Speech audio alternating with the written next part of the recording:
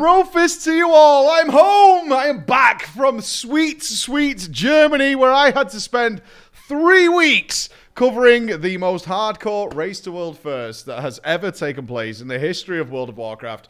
And what a pleasure it was. What an absolute pleasure it was. Not only were we there, and we had to miss a couple of drama times, because of course you would have seen me on that casting couch. Yes, it was the casting couch.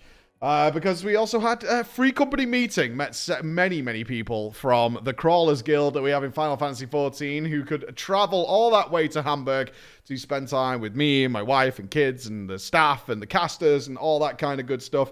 But also that we had the live letter today for FF14 which was an experience. First one I've been ever able to experience now that I have completed Endwalker in terms of its main story, and uh, it was an experience to behold to have them sit and have fun and literally play the game uh, to show you how it goes. I can't imagine some of the WoW meetings where it's like, hey, let's jump into a battleground and I'll show you how it works, which is exactly what we got today. It was actually amazing. It was an amazing experience. It was so, so good. And I have done a little summary of uh, stuff about the Race to World First up on YouTube for you guys to have a look at. And uh, we'll have more YouTubes for you now. I'm back in home in the studio. I am back here, along with our brand new displays you can see in the back, which are actually amazing. This is what Chris did while we were in Germany. Check it out, man. Look at this. For you FF14 fans out there, look at this bad boy. Want some Omerat in your life and some Emet-Selch? How fucking cool is this? This is awesome. Absolutely awesome. Uh, as well as we've got Tataru up on the wall.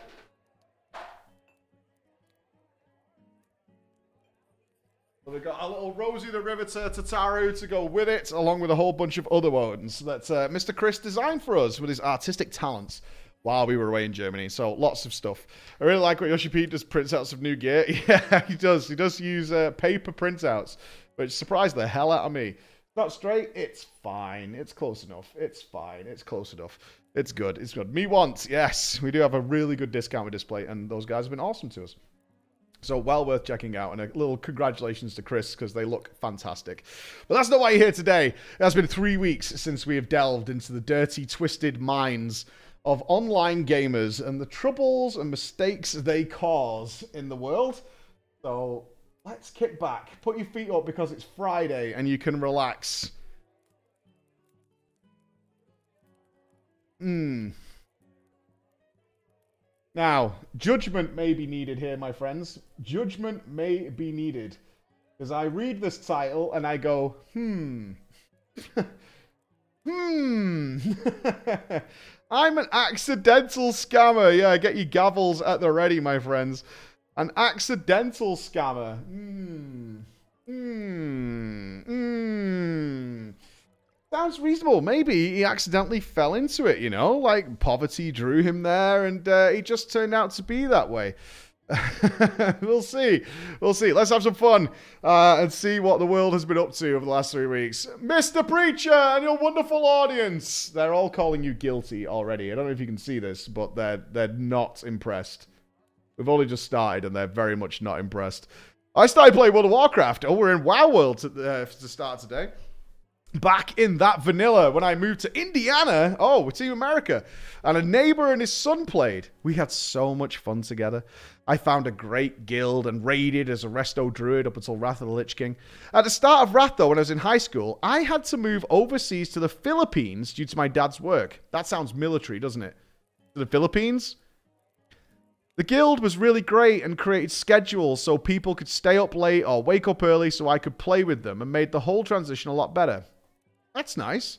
Sadly, though, waking up at 4 a.m. five days a week to raid was not good. Yeah, that doesn't sound good. and I decided I needed to find something a little more appropriate for my new time zones. That makes sense. 4 a.m. raiding? Ew. Ew. Hmm. There was one guild on the server that was based in Malaysia. I reached out to them and they agreed to let me trial in Ulduar in my Resto Druid. I had a mentor that they assigned to me, Drew. He was one of only two people who spoke English in the guild. The rest spoke Mandarin, a language I had no idea what the fuck was going on with. But it did mean that I didn't have to get up at 4am anymore. I figured the easiest solution to make sure I can raid was to learn Mandarin.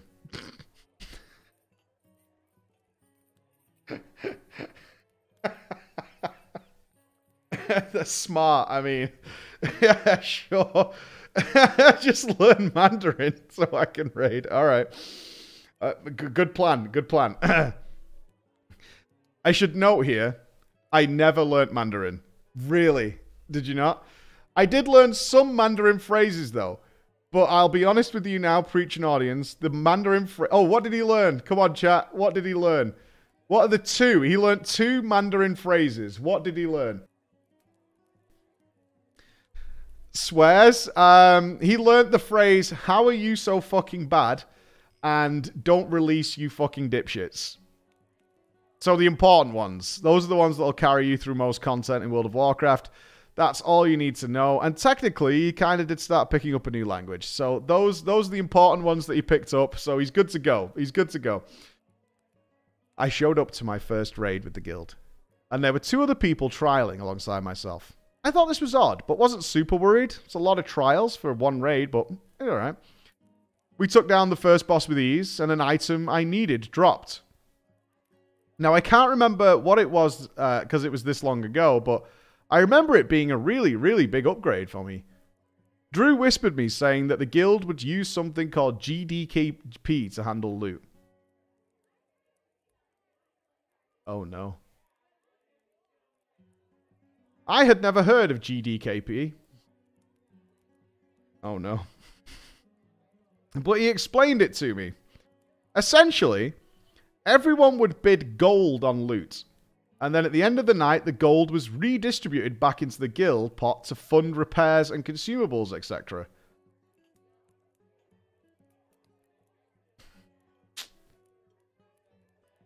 Sweet. That sounds like fun.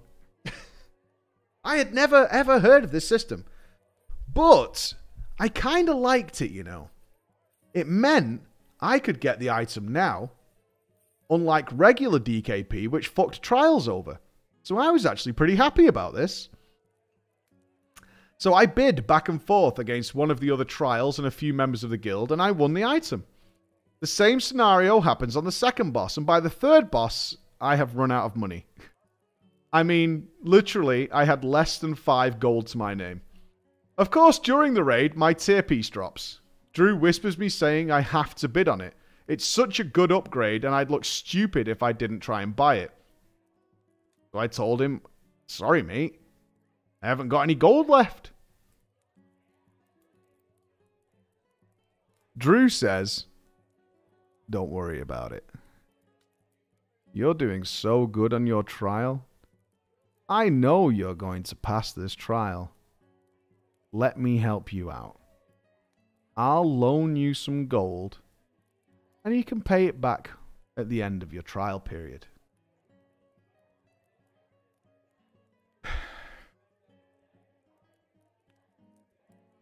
okay, I said. I clearly didn't think about it for more than a few minutes, and by the end of my first ever trial with this guild, I owed Drew 50,000 gold. At the time, I was so happy because I got quite a lot of loot. But then I went into a full blown panic. I had never had more than 20,000 gold in my entire life. The next day, I go to my friend, Kane, who I've been playing with since vanilla, and I tell him what's happened. He's always been like an uncle to me. Having played with him for several years at this point, he laughs at me in TeamSpeak and then says the line that I will never forget in my life. Mate, I am going to teach you a very important life lesson today. Don't borrow money you can't afford to pay back. I mean, yeah, really. He agreed he will give me 200,000 gold. Some to pay off Drew, and some to spend in the meantime, as long as I agreed that I would pay him back in installments on Mondays by 5 p.m. every week. Now, you might think, audience, that I was getting into a bigger and bigger hole. But I want to be clear on this. I told him I'm not very good at making gold. How can I possibly pay back 200,000 gold? Well, it turns out Kane had spent the past expansion or so becoming quite the little goblin and had cornered the inscription market on the server. We worked out an agreement that I would send him a certain quantity of herbs every week until we reached the agreed amount equaling 200,000 gold. In my estimation, I got off easy. I usually spent some time farming every week and I actually found it quite fun. So if I just add a few more hours to that, what harm can it possibly do? All my problems have gone away, my friends. All my problems have gone away. Was I fucking wrong? Any second he saw me online and I wasn't farming, he would fucking whisper me. Every single time. Excuse me, mate. Why are you doing heroic dungeons? Can't get any herbs in there, mate. Why are you PvPing? I've not received my herbs yet. There's no herbs in PvP, you know, mate. Just saying, if you're going to be online, you should be getting your fucking money paid back. You owe me. One time I saw him offering people in trade chat a thousand gold each to whisper me asking where his money was. My chat box was filled for three days straight with messages from randos asking me about money. We had added each other on Facebook a few years prior, which up until this point had seemed harmless enough, right? But he saw me posting photos or changing my Facebook status on friends. He would comment, on my posts on Facebook. Better have my money. There's no herbs on Facebook, mate. Now, I think he was joking. And I thought it was hilarious. My parents did not. they took notice of these posts that started appearing on my Facebook and begun interrogating me about it. Oh my God. Now, of course, as we all know, parents do not understand online gaming at all. And when he said, Where's my money? they figured he meant money. Real money. So my dad came to me. Who the fuck was this guy? Why is he harassing me? Why do I owe him money? Am I dealing him drugs? After a while, I sat them down and I explained the situation to them which my dad called me a fucking moron and grounded me.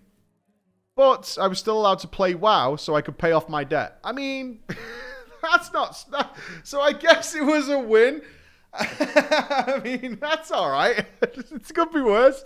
Could be worse. Except I came to realize it was worse than being grounded, as every second in game, I was being hassled by either Kane or by one of his little whisperers. And outside of games, my parents were now starting to hassle me as if, as if as about if I'd paid him back yet or not. Why am I watching TV if I owe some guy money? I remember specifically, and I'm not lying to you, one night we were having pizza and I went to put oregano on my pizza and my fucking little sister pipes up, Don't you think you should be saving herbs for Kane? They all thought it was funny.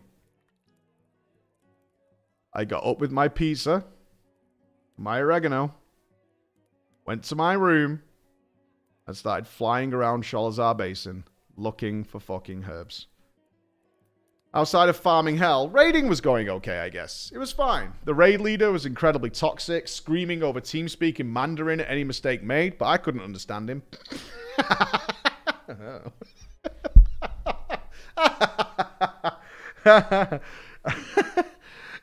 One instance I remember is wiping on Thorim 25 man hard mode.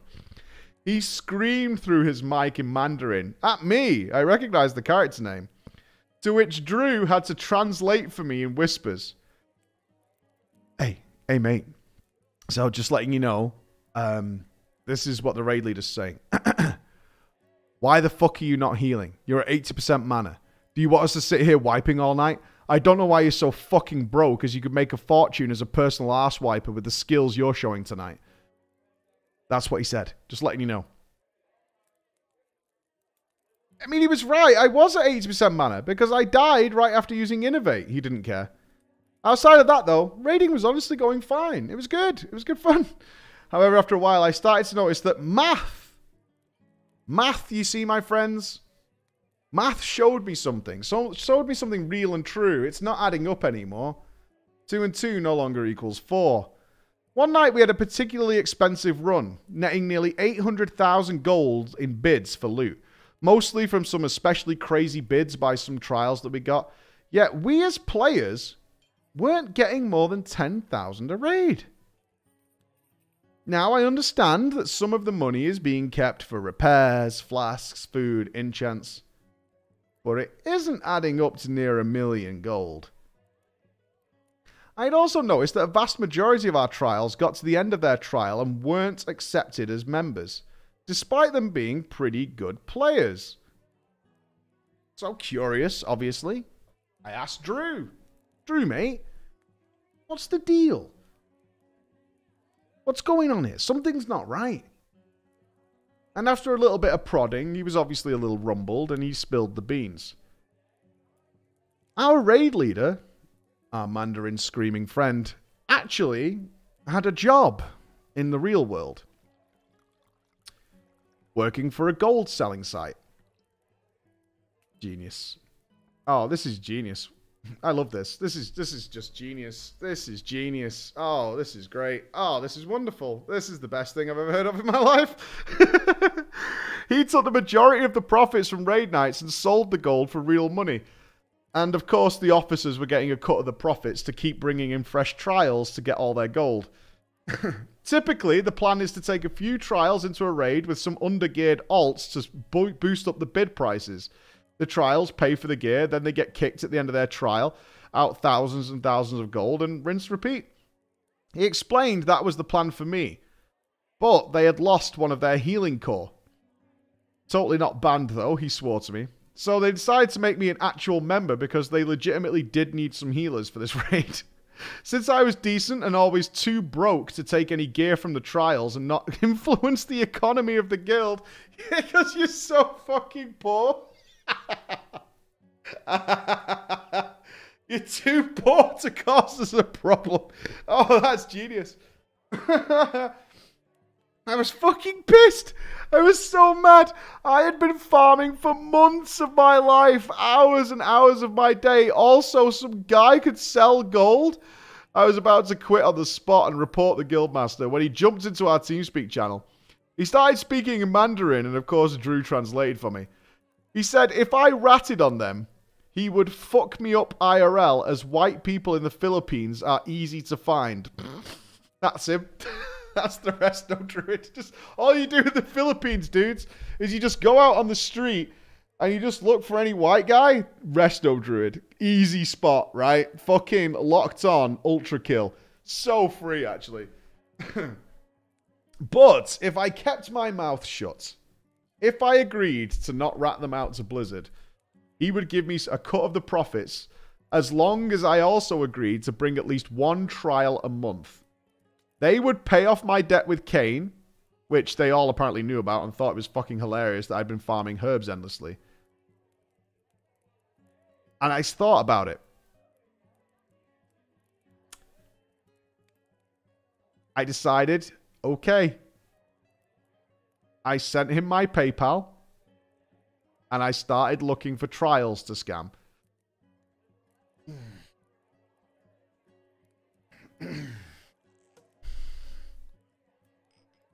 All told, in Wrath of the Lich King, oh my god, this is so not worth it. In Wrath of the Lich King, I recruited a grand total of 15 people to be scammed, and I made close to 2,000 US dollars.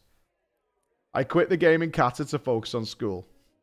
My family still joke about me and give me shit about herbs anytime I go to season any of my food. And some of you might be surprised to know, Kane and I still play together. What? You play with someone who was out to scam you and made you farm herbs for months? Are you fucking crazy, dude? Why? Because you're just as bad as him. That's the reasoning here. You joined in. You got in on the you got in on the action. That's what happened. You got in on the action and you start you turned into what he was as well. I I could tell you now, I'm still broke. I am barely able to buy a WoW token each month. I apologize to anybody I scammed. I hope you enjoyed this little story. I have more from my shenanigans with Kane, but that's for another time. I mean, guilty or in okay, yeah, it's guilty, right? Guilty.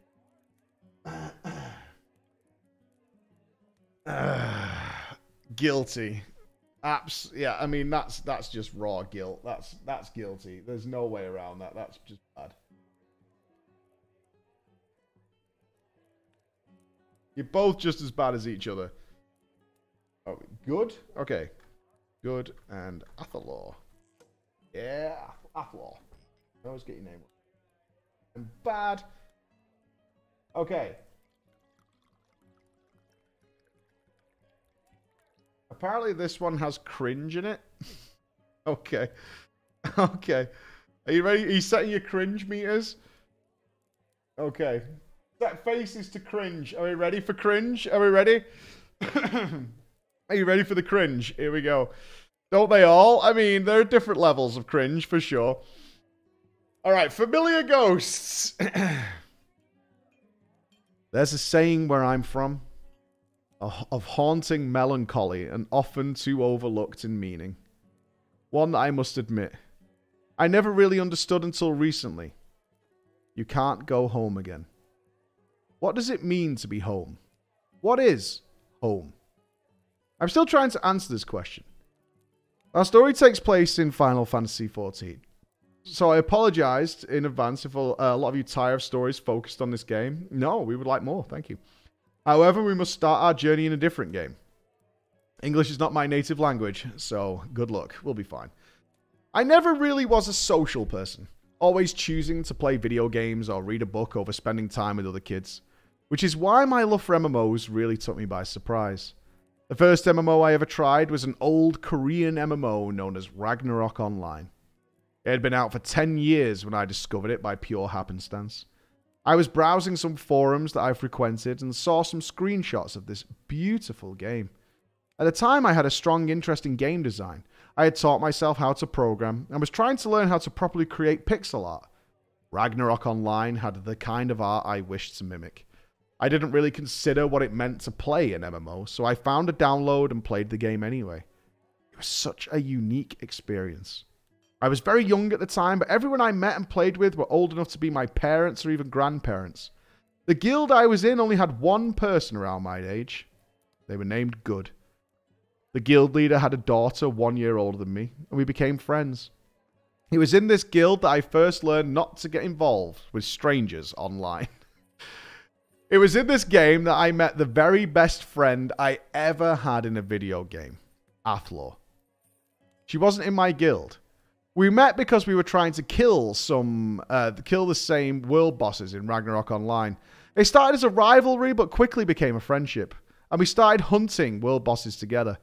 Athlor was a bit older than me though, but she was so cool.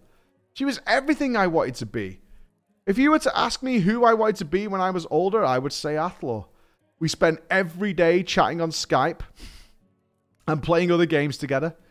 And one day, my guild was showing selfies on the. Oh, here we go. Selfies on the guild forum. Naturally, I didn't think much of showing my own. Now, before I continue, I must make it very clear.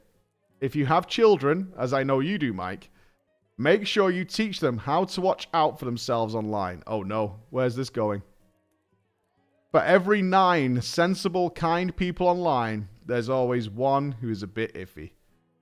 Sadly, there was a little freaker in my guild.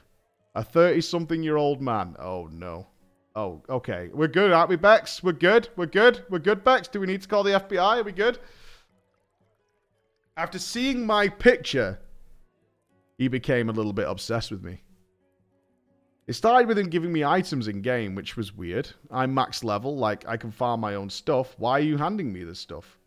It's good. Okay, Bex gives us the all clear. We're good. We're good. We're good. he begins messaging me every day, then every hour. Then he starts getting angry when I don't respond to him. I know now that he did this to uh, Good as well. I told Athlor about it, and she recommended that I quit the game completely straight away. Jesus fuck. Run away. Good advice, I suppose. Run. Run away. I was sad to let Ragnarok go. MMOs have become such a huge part of my life at this point.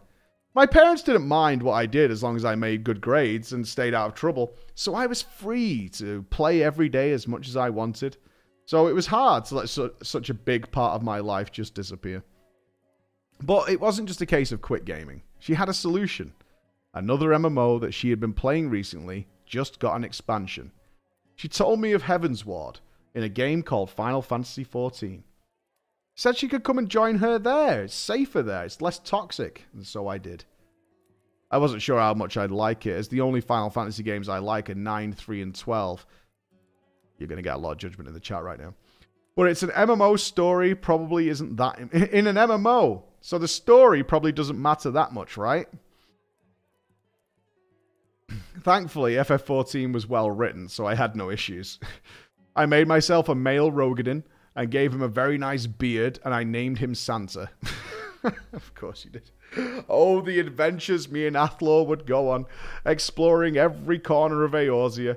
I still remember being extremely upset that I had to level Marauder to 15 to become a Dragoon, only to like it even more than Lancer and become a tank main.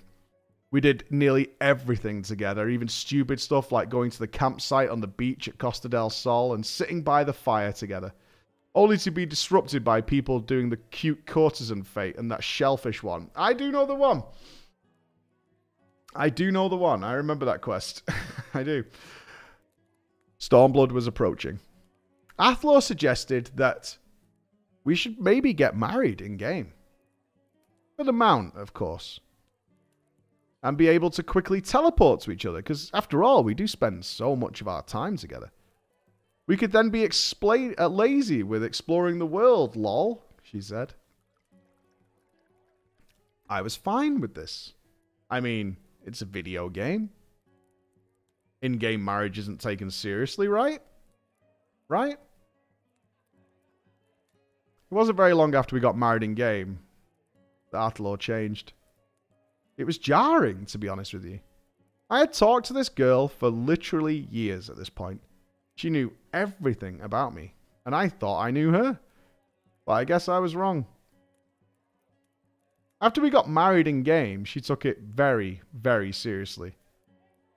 And became very possessive over me. If I would join a dungeon group without her, she would get angry.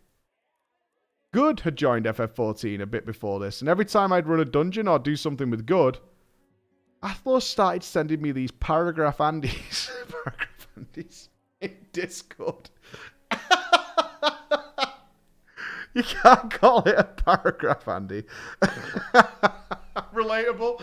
It's relatable. It's true roleplay. These long paragraph Andes in Discord asking me why I'm ignoring her. She actually made it unbearable to play the game if I wasn't with her. I didn't know what to do. This wasn't like her. Athlor wasn't like this. Athlor was funny, quirky, kind, my best friend. I just uninstalled FF14. I, I uninstalled FF14. That day I had logged in to do my dailies and do some fates. Athlor happened to be in a dungeon when I logged on, so I didn't bother messaging her about what I had planned. Midway through a fate, she just appeared, teleported directly in front of me and she started spamming me in free company chat. We'd made our own free company because I didn't like being invited to insert spam inviter here every five seconds. She was asking me why I had grown to hate her. How I could consider, even consider myself her friend if I was going to treat her like this and not whisper her when she, when I got online.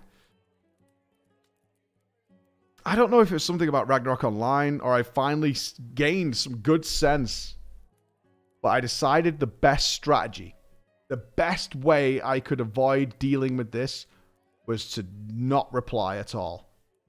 So while she was spamming free company chat, I logged out. and uninstalled Final Fantasy XIV. I mean, it's a play. It works, I guess. I mean, uh, escape. Giga chat? No way. No way. I apologized to Good, who didn't quite get what the fuck was going on. Honestly, I told her I don't know either. But we can play other games if you want. But I didn't know how to feel. Athlor had been my literal best friend for years. Years! I was concerned something had happened to her IRL. Was something causing this? Why was she behaving this way? But I didn't bother finding out. Instead, I decided to hope it goes away and left the situation alone. I, I am very, very concerned about you. You're not behaving like yourself. But I'm just going to avoid the issue and hope it goes away. about a year later, yes, it was probably about 12 months, I got an email. A direct email from Athlor. She apologized. She told me she'd been going through a lot at the time and she couldn't handle her emotions. So can we be friends again? I couldn't reply straight away. I needed to think about it. I spoke to Good. But ultimately, I agreed. She was going through a bad time. She was still my best friend. So, maybe it's fine. And I'll be honest with you guys, I missed her so much. I mean, I really, really missed her. Not the person she turned into, the original Athlor. She tried to get me to play FF14 with her, but I was like, no, no, no. I'm not going back there. Instead, we played some other games like Monster Hunter and Overwatch when it was still good. And she was herself again. I promise you. We were having fun again. But for me, something fell off. Eventually, she kept asking and kept asking, and she was telling me that Final Fantasy XIV was really good. And so I reinstalled it. February 2021. I hadn't played all of Stormblood or any of Shadowbringers up to that point, so I made a brand new character. In honor of Santa, I made a male Highlander with the Ilberd face and eyebrow tattoos. I named him Chad Santa. Smart. Smart. nothing wrong with that name. The changes to the game kind of baffled me at first, but I grew to like them. I mean, who likes teleporting or having to level every job to get your skills, right? Well, the answer is I do. I love them. I blame how grindy my first MMO is, but I love grinding it out. I've got uh, Korean brain rot. Everything was great other than how bloody long the queues were on the data center. It took me three weeks, three weeks to get into Diamond Weapon, normal, and I wanted to die. Please let me finish the story. Me and Athlor did a lot of fun stuff together, like duoing every possible dungeon that would allow us, allow us to just to just be us. We farmed so many pieces of glam and tried to duo the Omega raids. Things were good again. And naturally, at some point, she said,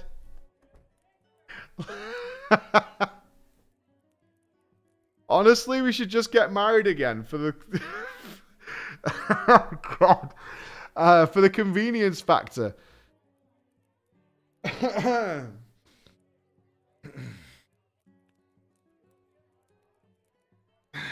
you see, you take one baby step and suddenly you've walked a mile. It's all there. I obviously had concerns. But she promised me, she promised me, she promised it wouldn't be like last time. She could prove it. You can prove it. Instead of us getting properly dressed up for the wedding, we would make chicken glamours. Not the chocobo, but the Easter chicken event. I wore casual shorts with a dark divinity top, claws of the beast, divinity boots, and a big golden chicken head. We were going to do it as chickens to show how light and non serious this was. And it felt like she came around. She wasn't going to take the wedding seriously. It was for fun and for convenience. After we got married, it began again. She got possessive again. But it wasn't like before this time. It wasn't so pronounced. It was subtle this time. Everything was fine for a bit, but she started to get angry at me on Discord for not being online as much as she felt I should be online. for not spending enough online hours alone with her. I told her, I'm not dating you. Okay? We're friends. I like playing games with you. Why are you saying this crazy shit to me? That is what I wanted to write to her. That's what I felt I should write to her. But she was my friend. So I thought instead, I will be considerate and kind. Divorce? Can you even get... I assume you can get divorced in FF14. I've never heard of it, how it works. But it got worse. And it got worse. In a fit of rage, she deleted her character in game, blaming me for ruining her online experience. What's the point of a character that's married if I have to play alone? I was so confused.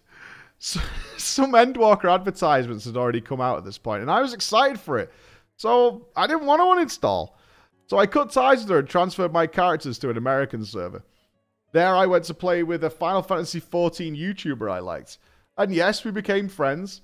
I changed my character into a cute cat girl so I could wear nice fluffy winter clothes, and I had fun for a time, but I'm not in America, it's not me. I noticed a familiar female aura popping up in various places where I... Oh god, she followed you? It happened so often it couldn't be a coincidence. I at first thought it was my YouTuber friend messing with me. Something for a meme or a video or something. But when I asked them, they had no fucking idea what I was talking about. I decided the next time I saw this aura, I would ask them if I knew them. And lo and behold, it was Athlor.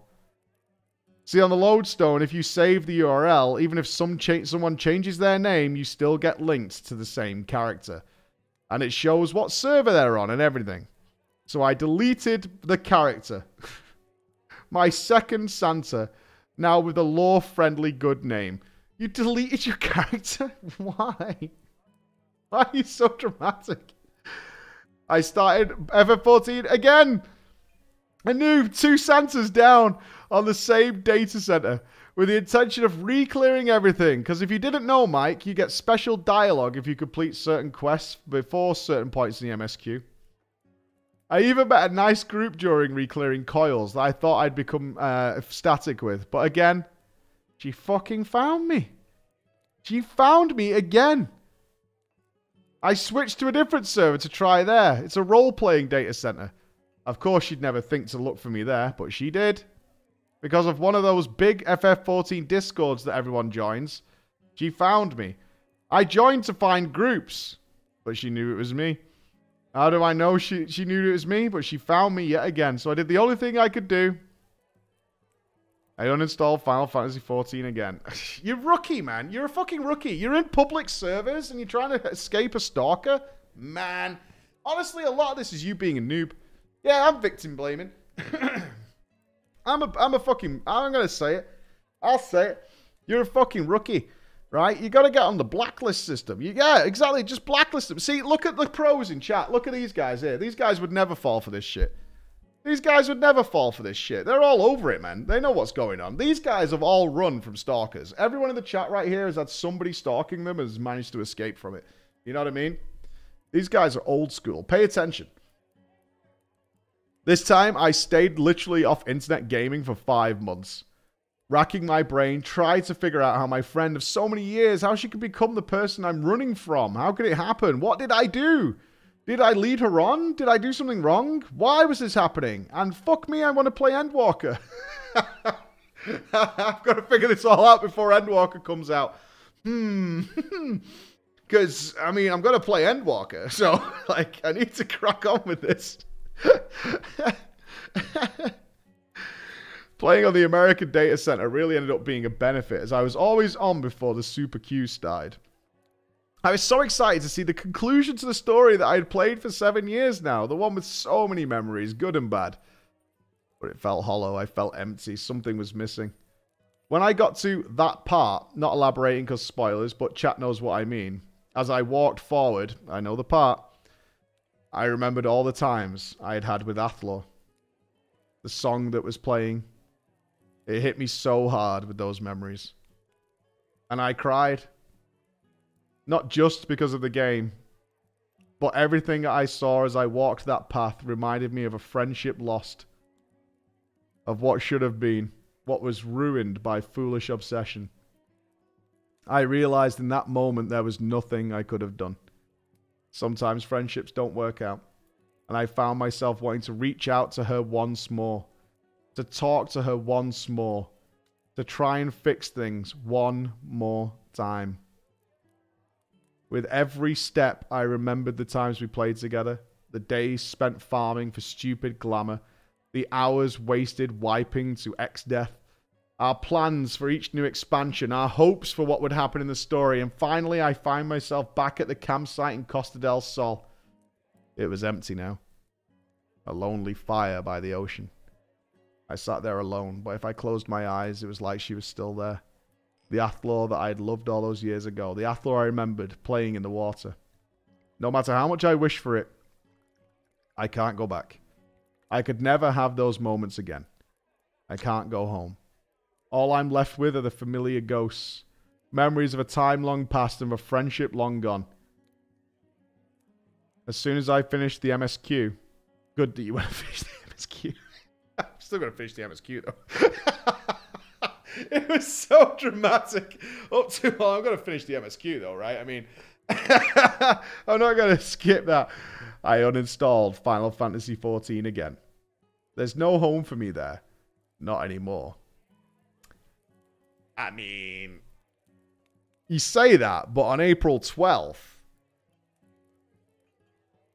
there is. That's all I'm going to say. Is like you feel like that now, on April 12th, you might feel a little different. Is all I'm going to say. I'm just saying you might feel a little different. That's all I'm going to say. uh, Bit dramatic. it's never nice losing a friend. We've all done it. Uh, most of us have done it anyway. We've lost a friend at some point or another. But uh, the, the clock keeps ticking. Remember that. The clock never stops. So you'll be all right. Scarab Lord Adventures. Okay.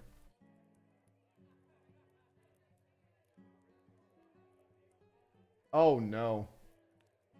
Uh, you might be being bullied here.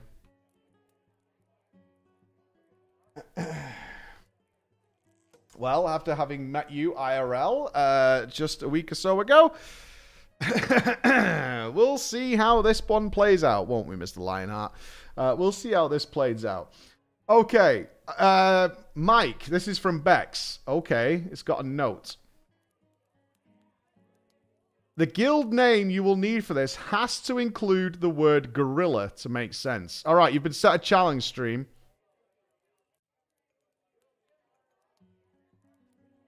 Oh.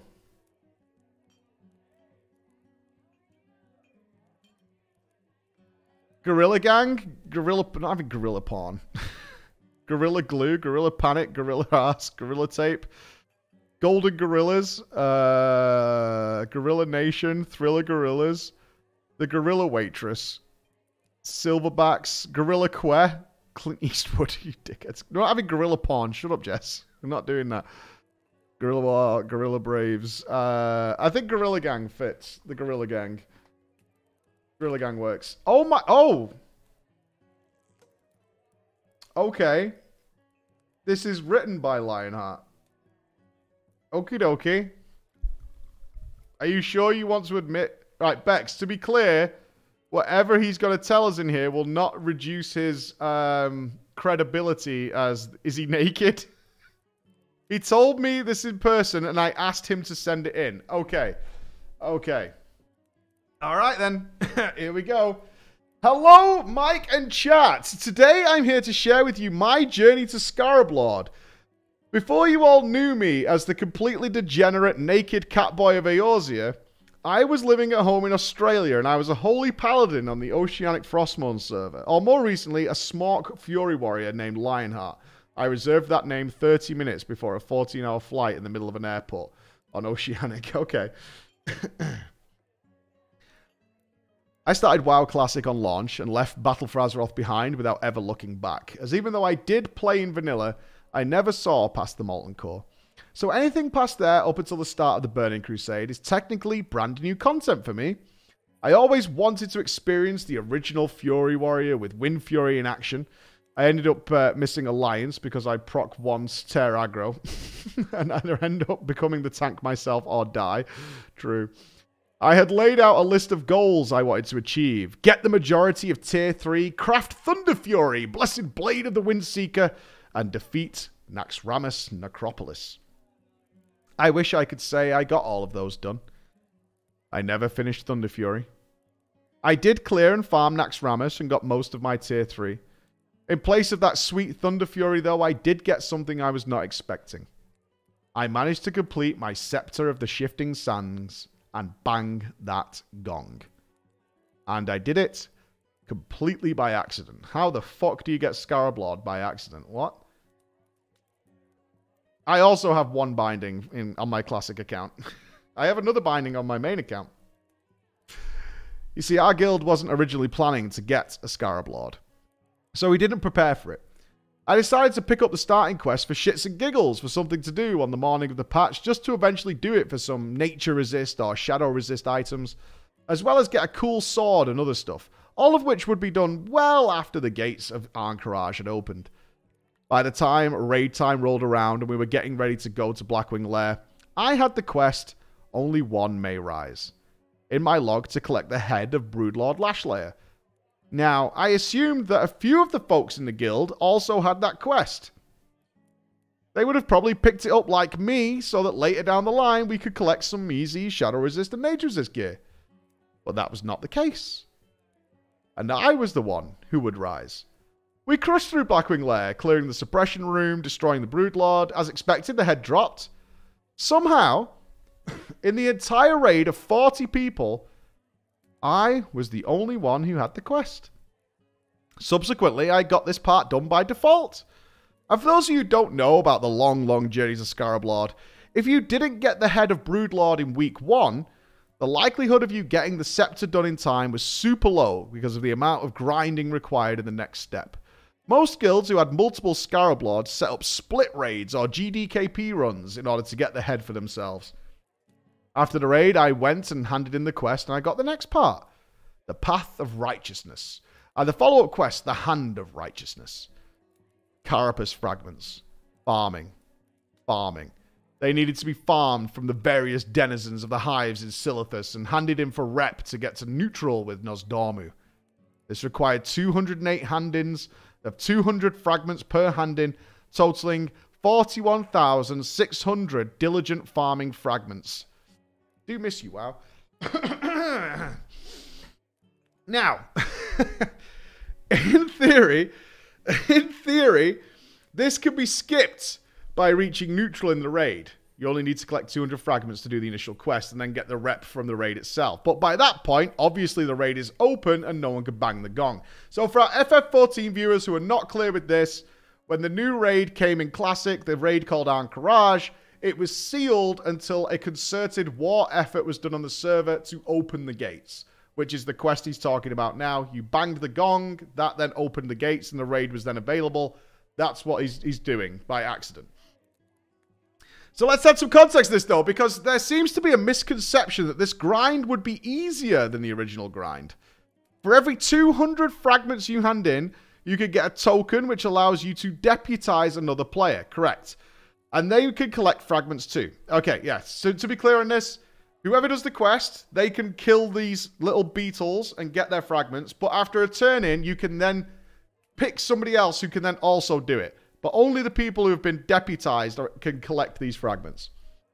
Fragments are tradable and sellable on the auction house. You must be deputized or on the quest in order to loot the fragments. This gets more complicated on a PvP mega server where some guilds were trying to get 10 plus Scarab Lords. All in all, I think our server ended up with 30 Scarab Lords. Now, there are three hives in the Silithus zone, all with these elite cockroaches. Hive'Ashi to the north has bugs which drop 1 to 2 fragments each. These have the lowest health, but they have mobs that disarm you, so you can't hit them. Hive Zora to the west has bugs which don't do anything particularly nasty except for some non elites which all spit poison and roam in packs of 5. The poison is lethal, so dropping 1 to 2, 3 fragments per mob or a non elite pack. Hive Regal to the south, which has mobs which hit very hard. Some of them are in stealth, some of them do mind control, some give you disease, and these are the most lucrative, dropping 1 to 5.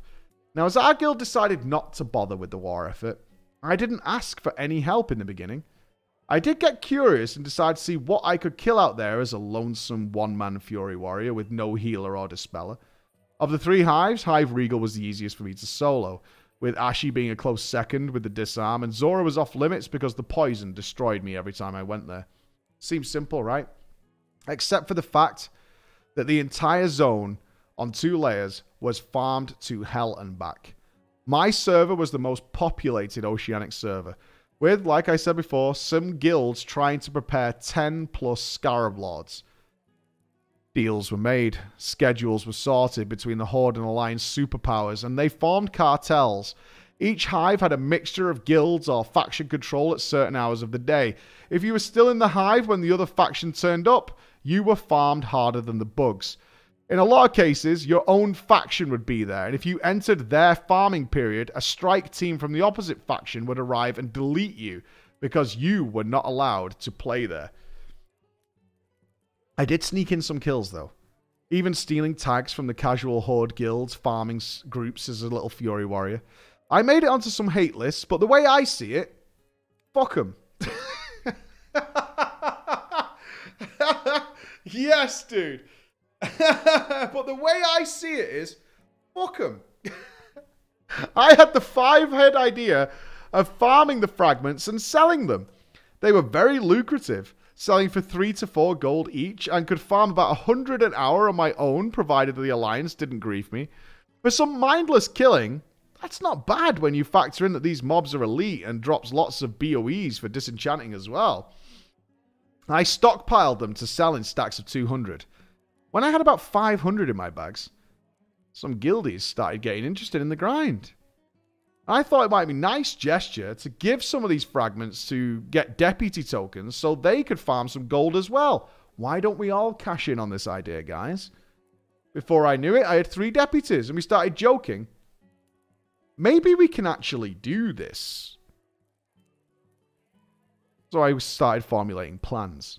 I mapped it all out and how it would work with our raid schedules. I worked out a route. Heck, I even made a spreadsheet. The way it worked out was our time limit was the reset before the gong would become active, which is a server wide event. As we wouldn't have enough lockouts in our raid schedule to finish the scepter before the gong was hit. Fortunately, our server delayed hand ins, so I got about three weeks to finish it all. If I felt at some point that the effort would lead to failure, I would make the early call to sell all my fragments on the auction house and all gold would be distributed to the guild based on what people farmed. My profits would be low because all the fragments to deputize people were coming out of my pocket that I had farmed. But I made sure I set aside the fragments that everyone else farmed so they would at least get something if we didn't complete it. I did do something cheeky though. I started selling the deputy tokens to randoms, promising them so much cash if they just bothered to farm. I was selling them for 100 to 200 gold each, basically. Selling my own at 1, we, 1G each while stockpiling gold to buy more if needed.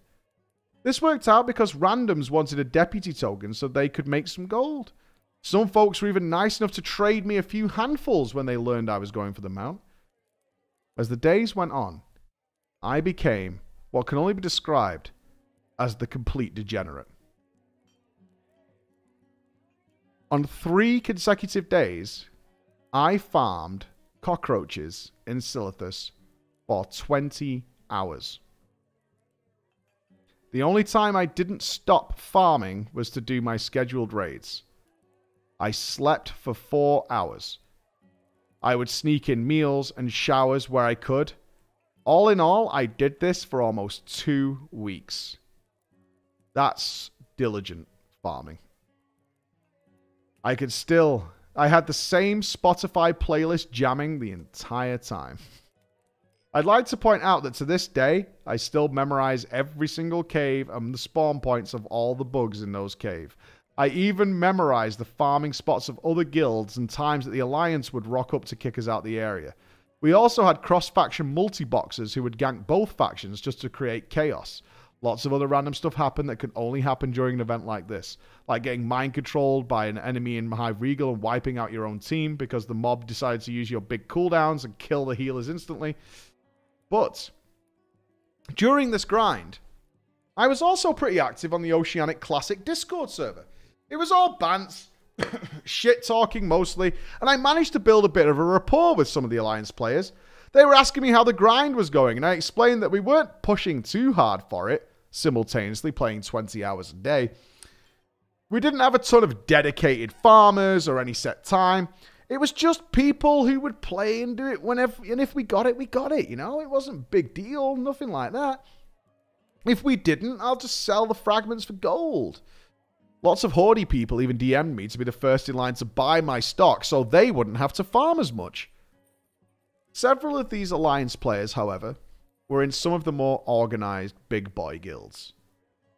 The guilds that had organized to have certain parts of the zone dedicated to just them at certain schedules. Now, one guild called the Gorilla Gang loved to PvP, and they were going for a Scarab Lord themselves. Let me explain these guys to you. They were notorious for world PvP, ganking people while shouting gorilla only. Using the cross faction translator. Because I had a bit of rapport with them from chatting in Discord, they generally leave me alone in the world and I'd shout back gorilla love. Now, during the Silithus grind, I'd notice at 8 pm, when the Horde were getting kicked out of Hive Regal, the Alliance would show no mercy. But as each day passed, I was getting killed less and less. In fact, I noticed commonly that I was the only Horde player not getting killed, and even folks from my guild were not getting touched now. Usually, I would find a corner of Hive Regal and do some diligent farming all day, and other Horde would sometimes encroach on my spawns when we controlled it, but when the Alliance turned up, they wiped out all my competition and left us to just farm our little corner by ourselves. Provided we didn't come out of that corner, obviously, the Alliance were happy to give up a few spawns just to let us be. As it turns out, if you're nice to people, even those in the enemy, they're generally pretty nice back. The Alliance guilds were content to let us farm in our small little corner when they controlled the hive, and regularly helped us remove other Horde and the multi-boxers who were ganking. I reached out to them, I thanked them on Discord, and all they did was send heart emojis back. It was extremely valuable having a consistent farming spot on one of the biggest PvP servers in the world during an extremely competitive grind. Sometimes when they wanted to have the hives themselves, I'd get charged by a warrior or sheeped by a mage, but they didn't kill me. And they would just emote no. I saluted them, packed it up, and went to sneakily farm somewhere else. Sometimes when they were finished farming, they'd find me clean out the horde, and then give me a cheer as a sign to go back to my little spot and keep farming. After a grueling, diligent grind, I noticed the war effort was coming to a close. The clock had been ticking, time was nearly up, and I was still short 10,000 fragments. In the end, I ended up sinking a significant portion of my fortune and borrowed gold from others to buy the fragments. I had farmed so much. I had done so much that I was all in. I had to have it. It was go mode. With the carapace fragments done, now I had to go back and ensure the rest of the content was correctly mapped out. The next part of the chain splits off into three parts red, green, and blue shards. I had to clear Blackwing Lair in a speed run, which was easy. The Green Scepter involved a cheeky run to Sunken Temple to pick up a quest, kill green dragons at each of the portals around the world. The drop rate on these was low, but we smashed them out pretty quickly. there was a mini boss in Duskwood's Dragon Portal, which was vastly underestimated and killed us very quickly. Finally, there was the Eranikus encounter in Moonglade. I assembled armies from three separate guilds and coordinated them all while teaching them the cheesy strat for this fight, which involved using one of the buildings and lossing in Moonglade. This was challenging, but we got it completed. For all three of our would-be Scarab Lords, one from each guild. The really fucky part, though, was the most obnoxious one, the Blue Scepter Shard. You had to run all over the world a trash drop from Molten Core with a low drop rate, finding a way into a secret island, getting an epic cooking recipe. Yeah, that was a good quest, that. Constructing a book which involved three major 40 man raids, several outdoor raid bosses, which included a deadly gnome, a mechanical gorilla, killing elite demons in Winterspring and Blasted Lands, and invading the opposite faction's city. and finally crafting a special lore that involved a handful of Arcanite bars. When all was said and done, we had to summon a mighty fish boss in the middle of Azshara Bay who dropped over pretty quickly. While we were farming Molten Core Trash, we got the call at around 7 p.m. from World Chat. The gong. The gong would be active in exactly seven days from now. I was only stressed about the green dragon fragments as we hadn't yet done those. I'd heard about the terrible drop rate, and for what I heard, one warlock in his guild didn't get the Hinterlands fragment because it just never dropped. We were farming at the same time, and I got mine within an hour. Nice. Approximately three days before the gong is active, I had it in my bags. The Scepter of the Shifting Sands. I spent two days cleaning my degeneracy up. I'm not joking, it took me two days to remove all the McDonald's bags, empty KFC, and pizza boxes in my apartment. Two days of cleaning? There was so much when I looked around. It didn't help that I lived across the road from McDonald's and KFC at the time. Anytime not cleaning, I was sleeping. Eventually, though, it, this sounds like every World of Warcraft player who went for like High Warlord or Grand Marshal. Every time, eventually, though, it was time in my nice, clean apartment, the gong was going to be active. And Blizzard actually did something cool. They had to layer our server into two for the event because of how many people were online. There was still a 6,000 person queue to be there for the opening of Ahn'Qiraj. And from what we could tell, if you had the scepter in your bag, you were visible to players on both layers but untargetable if you weren't on the same layer. So Horde and Alliance both picked a layer and stood there while the whole time each faction could see two idiot would-be Scarab Lords, one from each faction spamming Gorilla Only and Gorilla Love at each other while waiting for the gong to become active. And when it did, I smashed the shit out of that gong. It wasn't the first one, sadly, so my name didn't get broadcast across the server. But I did smash it, and I got my big buggy horse. While I never did finish Thunderfury, this quest chain was the most fun two weeks I've ever had in World of Warcraft since Mage Towers. And it gave me far more in-depth classic experience than most players would ever receive. It made me lament the days when a whole world felt like it was alive and existed. This comes to the end of my little tale. It's not a mega juicy drama, just memes, epicness, and good fun along the way. The only drawback is, to this day, when a song from my grind playlist comes on, I get PTSD flashbacks to that hive and those caves.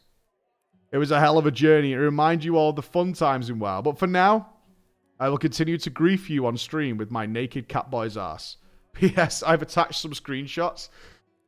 oh god, you're a female smork? Oh, murder, death, kill. Murder, death, kill. Ew. A female smork? Ruined. Yeah, there it is. There it is. Bang that gong, baby.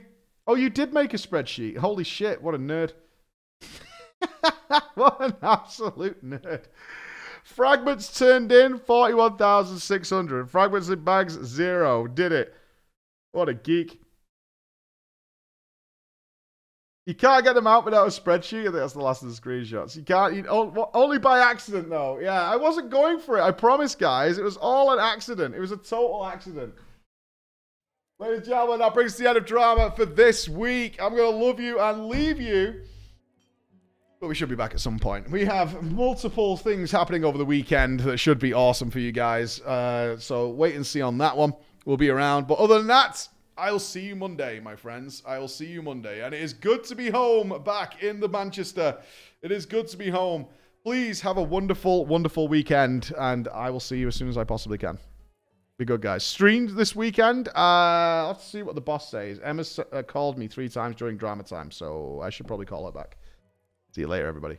Baller ballers and a bro fist to you all for Friday has landed on us once again. And that, of course, means it's time for some drama. It's time to sit back and celebrate the weird and wonderful world that exists in the internet superhighway with the creepiness and the weirdness and people using anonymity to be incredibly weird and interesting and fun and wholesome and terrible and terrifying and sexual and do all those kinds of weird and wonderful things. And if you want to send us a story, you can do to preachgaming at gmail, uh, drama at preachgaming.com. Sorry, drama at preachgaming.com. Or you can go to our website, preachgaming.com, uh, where you'll see every story we've ever told over the last seven or so years. All categorized and links for your favorite ones. You can make playlists. You can do all sorts of wonderful, wonderful things. It is a week of celebration. Uh, one indoor in house artist, Mr. Chris, has had the best selling Displate on all of Displate. He managed to achieve it with our wonderful Emmett Selk Amaurot Displate that he made was the number one on the entire website. He has done tremendous things, and we're all incredibly proud of him. He's done super well. It's been a momentous occasion. Big claps to him, and big claps to all you guys for supporting us uh, with the Displate stuff because it's super cool. And we love having these images in the background. You can kind of see them popped up behind me. You can see our wonderful Tataru one, uh, based on Rosie the Riveter from back in the day, doing all those wonderful things for the Scions. It's been an incredible week of also investigating all the weird and wonderful things that exist in the MMO side of Final Fantasy XIV. Uh, which I didn't know about because I basically played a single player RPG for the last 800 hours, uh, besides some occasional group content. For the most part, we've been sort of following along with the story, but now we're delving deep into all these weird intricacies, and I've discovered more things in the last four days than I could put my finger on. So stay tuned to YouTube for some more thoughtful commentary on that rather than, ooh, ah, this is amazing. Uh, which generally happens with the stream. Now, curiously enough, as we get over to drama time, which is why most of you are here, for the first time ever, we have a story from Final Fantasy XI. Now, the only things I know about Final Fantasy XI are from research I did probably six years ago uh, because it had the most ludicrous and insane bosses in it. And I think two of them from Final Fantasy XI made it into a top five I made at the time, which was the top five worst raid bosses in history. Uh, I specifically remember the Pandemonium Warden, which caused players to get sick and ill, uh, and all those kinds of things. I believe that was from Final Fantasy XI and uh, you if you your de- XP degraded, things like that. it was really weird. It was absolute virtue was on there as well. I remember that. Yeah, you, your exp- your levels could just degrade over time uh, if you were playing the game and all that kind of stuff. It was. I, I think that's the correct one. Absolute virtue for sure. Yeah, there was some really nasty, old school style MMO stuff in there. Uh, so I don't know where we're going with this, but we I'm down for a Final Fantasy XI story to learn about it. And of course, uh, I know most of our stories are Final Fantasy XIV and Final Fan- and World of Warcraft. Uh, but of course, we accept good stories from any weird and wonderful place on the internet. This is called the Manthra. The Manthra? The Manthra. Okay. I don't know whether that's a boss or reference to something, but we'll find out together. Uh, no names required. Okay. okay. All right, let's have some fun then. Hello, Preacher, and your wonderful audience. Long time watcher, second time writer. I apologize in advance for any errors in the story. English is uh, English is my first language. I'm just shit. Well, at least you're honest. at least you're honest. I think that is the first time in all these years someone has made that joke. Typically, I do get genuine apologies because it's no problem if your English is not your native language. I understand that. Uh, but fair enough. I want to ask something though. I actually genuinely need the jury. Oh, we haven't had one of these for a while. Ladies and gentlemen, raise your gavels. Raise your gavels. The, the, the author is in need of assistance. Raise your gavels. Okay, Judge preaches in the house. The gavel is here. Fair enough. Now, my mind is foggy on some of the really specific details, but this is essentially how everything went down. I tried to warn the ones taken advantage of, and I profited from their stupidity. Hmm. Hmm. Okay. All right. Before the guilty spam, let us let us hear the facts of the case. Yes? Let's hear the facts of the case. My tale takes place in the best MMO in the history of MMOs. Final Fantasy XI. Back in 2008, after the Wings of the Goddess expansion came out, I was around 16 years old. Ah, so you were young and mental. In Final Fantasy XI, you have different races, as you would expect, and some of them are gender locked. I had been playing for a while as a Hume, uh, Final Fantasy XIV Hyur, male monk, uh, a human. I convinced my best friend to start playing the game with me. I explained the different races to him and that different races have different stats, making some races preferable for different jobs and classes. Oh, that sounds terrible. So you couldn't just choose whatever you wanted? I'm glad that kind of thinking went away. Ah.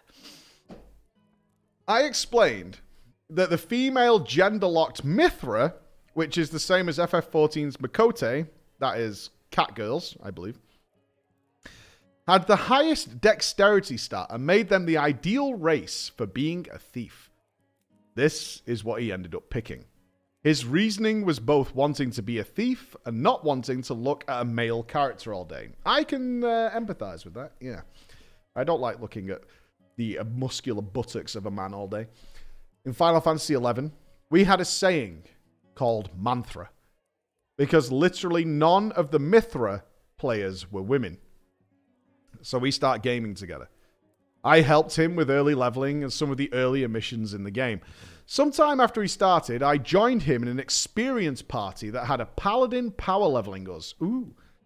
power leveling in FF11 was simply a max level character acting as the party healer while not in the party so you could have an additional DPS and kill everything quicker. Okay. So an outside the group healer. Understood. I didn't think much of this because a lot of people, especially in the lower level, level lower level zones, had an alt to handle healing to make things faster. A few days went past and I joined another group with him and noticed that the same paladin was leveling with us. This was a little odd this time around, because none of the other party members were the same, and I knew my friend didn't have an alt. So I asked, why is this guy still with us? My friend responds with the simple, simple answer thinks I'm a girl. I told him that was dumb. There's no way anybody is a girl playing this MMO. Impossible.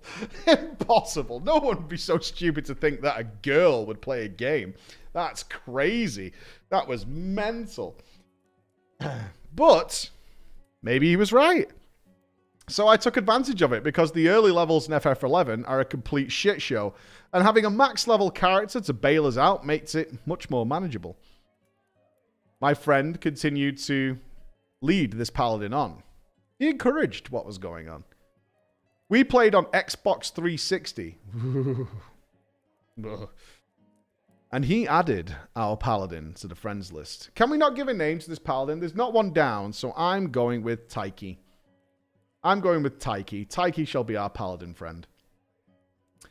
Sorry, Taiki, this might end up really bad. this might end up really bad, I don't know.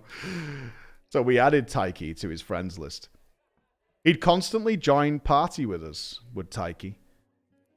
And he would always say that he didn't have a microphone. He went as far, my friend, this is, as setting up a female MySpace account. Whose pictures did you use? Eva Longoria? Daisy Ridley? What year was it? Who who was... Oh, it would have been Jennifer Aniston, I assume. In 2007? Who are you using in 2007? It's got, it's got to be Aniston or someone, isn't it? He went as far. Avril Lavigne would have been pretty big. Jennifer Lawrence is later than that. I don't think Lawrence would have been there. Halle Berry, Alba, Alba would have been 2007 for sure. He went as far as setting up a female MySpace account and used one of his friend's pictures to keep leading him on. At one point, I had an argument with my friend over this. It ended, it ended with me telling Taiki, Look, mate, my friend is not a woman. It's a guy. But what I received in return shocked me. It wouldn't shock me now because I've been on the internet longer.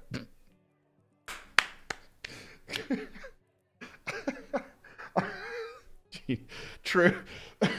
True.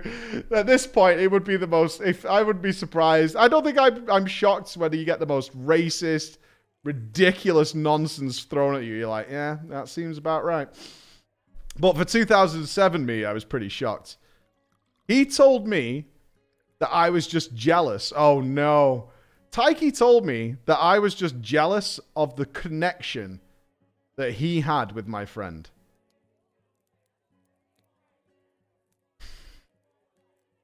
After this, I never brought it up again. I made up with my friend and I thought, fuck it. And all was good in the world. So one day I'm out killing some smarks for experience when my friend found me and ran up to me with Taiki following. Taiki, who I was no longer on speaking terms with, casted Protect on me and then whispered me. Immediately, I knew from the whisper that my friend was playing on Taiki's Paladin. Taiki had given my friend his password so that he could power level himself because of time zones. My friend had stalled FF11 on his parents' shitty desktop computer so he could multilog. This is when we hatched a plan to take everything that Taiki had. And you're asking us if you're guilty? You're asking you really coming to this court? You're gonna bring this humpy bumpy to my court and ask me to render justice? Gear in Final Fantasy XI is extremely valuable and very time consuming to farm. A very low level piece of gear could be best in slot through max level on the right class. As a result, some of the low level pieces of gear are stupidly expensive. Taiki also played a human male, and there are race gender locked pieces of gear that, that he had, and I really, really wanted. So, together we picked a night Took an hour, and we took every single piece of tradable gear off Taiki and split it between ourselves, and then changed server. It worked out really well because the server we were on was fairly dead, and I had already wanted to leave it anyway. We made new characters on the server we were transferring to with the same names, so it would force us, so it would force us to rename ourselves. Oh, smart. Smart. Yeah, I've done that in World of Warcraft. I've done that in WoW. and off we went. Yeah, I've done that in WoW as well. it happens a lot. Yeah, for sure. It's a, it's a common trick. A common trick. Final Fantasy XI generally has very close knit communities. It was actually a bit rough integrating into our new server, but eventually we both did. We both enjoyed our newfound wealth and continued to grind out the end game of Final Fantasy XI in our new Link shell.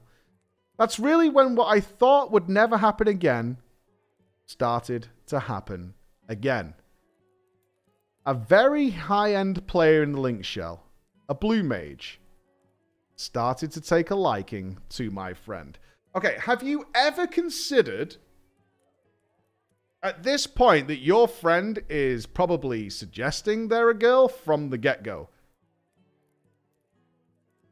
Have you ever considered that's probably what's going on instead of being surprised that people randomly started to like your friend?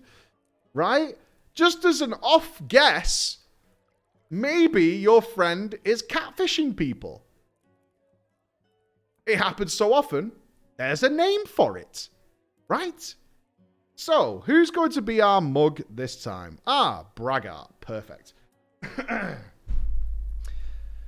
cycle started again with Braggart. Adding to the MySpace, dumb, flirty talking and party messages in the link shell. Braggart turned out to be into anime, and my friend started to add uwu to the end of most of his sentences. Uh...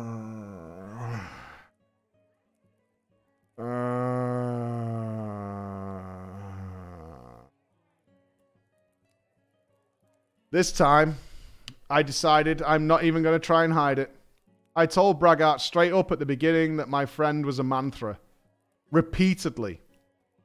But he didn't buy it because of how feminine and delicious the conversations were. A guy wouldn't say that. of course. A guy wouldn't say that. A guy wouldn't say those things. This has to be a beautiful lady who lives atop a mountain upon a pedestal with such soft skin and oh, I wish I could get outside. I didn't want to cause any drama because I actually really liked my link shell. It was nice. I was making so much more progress in it on the new server than I ever was in my old one. I also wanted to level up my Blue Mage, and having an experienced endgame Blue Mage like Braga really helped. So, I did what I think was right, and just ignored all the flirtiness that was going on in my party chat. Brave. That's how I would describe you. Brave. Brave and true. Is just to ignore your friend flirting with a guy to steal from him so brave. So brave. He was in an area called Qufim Island in a party grinding out experience on worms where my friend ran up with Braggart following him. Like a fucking Twilight Zone episode, I got a whisper from Braggart indicating that it was my friend who was in control of that character. Yeah, it's really surprising that the trick that worked once and gave you loads of wealth, that he attempted to do it again. That is surprising. It turned out Braggart was kind of a burly man working on an oil rig, and when he was left for work, he was gone for over a month.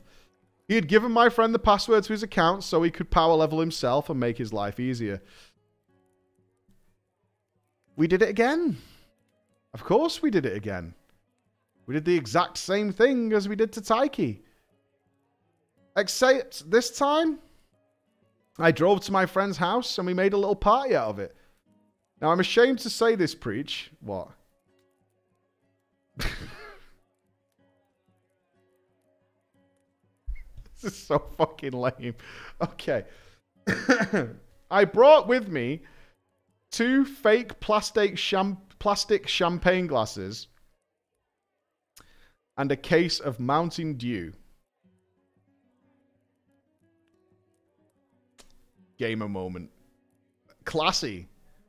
It's classy in a way. It's like the worst evil villain you've ever seen. All right. It was code red for anybody interested. I don't know what that is. We don't have that over here. I don't think. I don't think we have you. I don't think we have code red in the UK. It sounds very edgy though. It sounds very serious. We of course took every penny Braggart had, and once again we decided to move server. Now we had double the wealth. The only difference being that my friend also deleted Braggart's character when we'd finished. We forced the name change again and moved back to our original server. Why delete his character? I I mean, I think most of us have probably well, maybe not most of us, but I have given I have loaned my account to a friend uh, during vanilla World of Warcraft and it was the first and only time I did it because, of course, they put me in Silithus with no Hearthstone and no armor. And I logged in and I was just like, this is well shit. It's not funny. It's just shit. It's just really shit. And that was the first and last time I ever did that. That was it. That was the entire story from start to finish. Is they needed to farm something on my on my priest, or they needed my priest for something. And I was like, yeah, well, it is funny. It's not it's just really annoying. I do keep tabs on the two guys.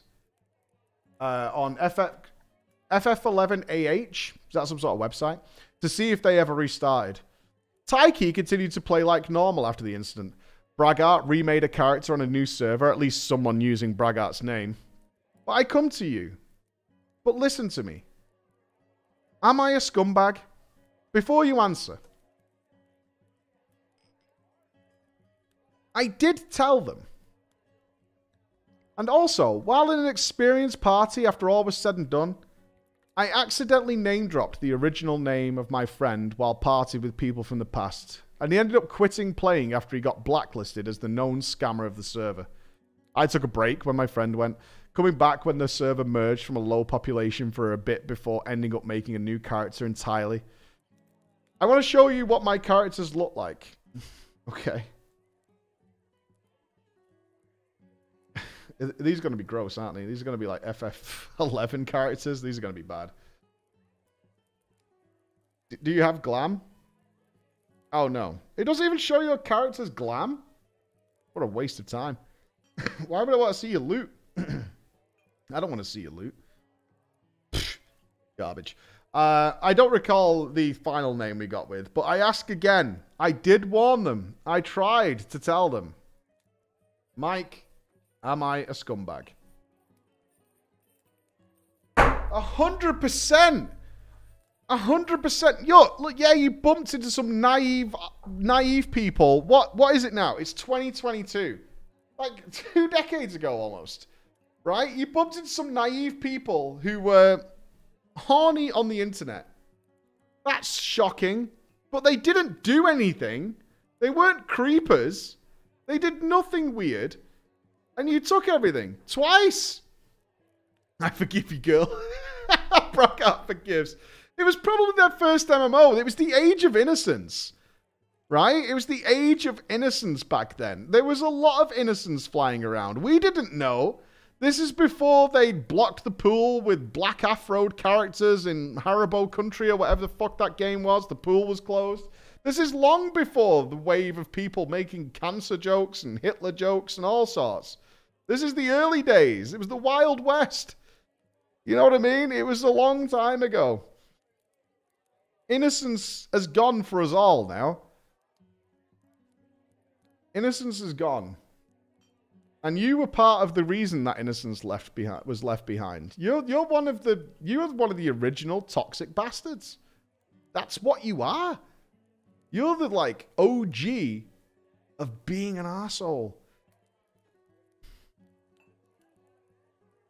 Guilty. Guilty.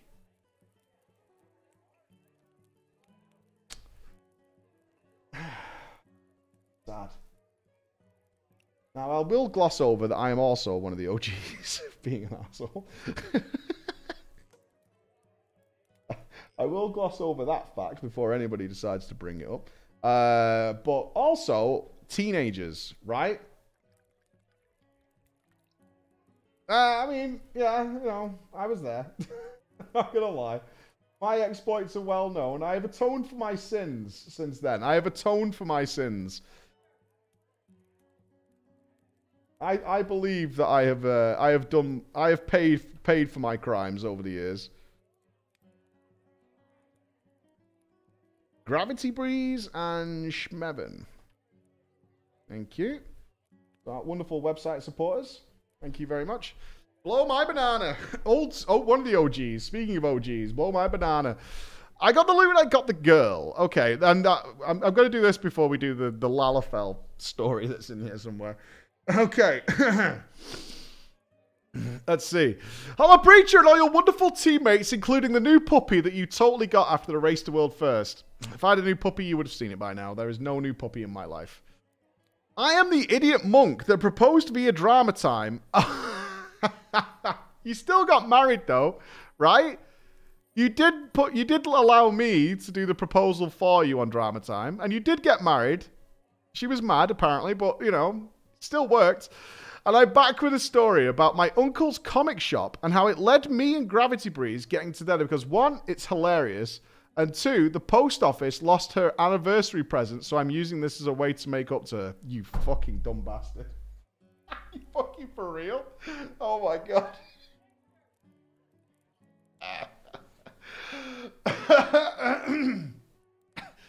I don't know if this is a Chad move. I don't know about that, man. This is a Chad move. Okay, everybody on best behavior, yeah? Shirts and collars done? All right, good.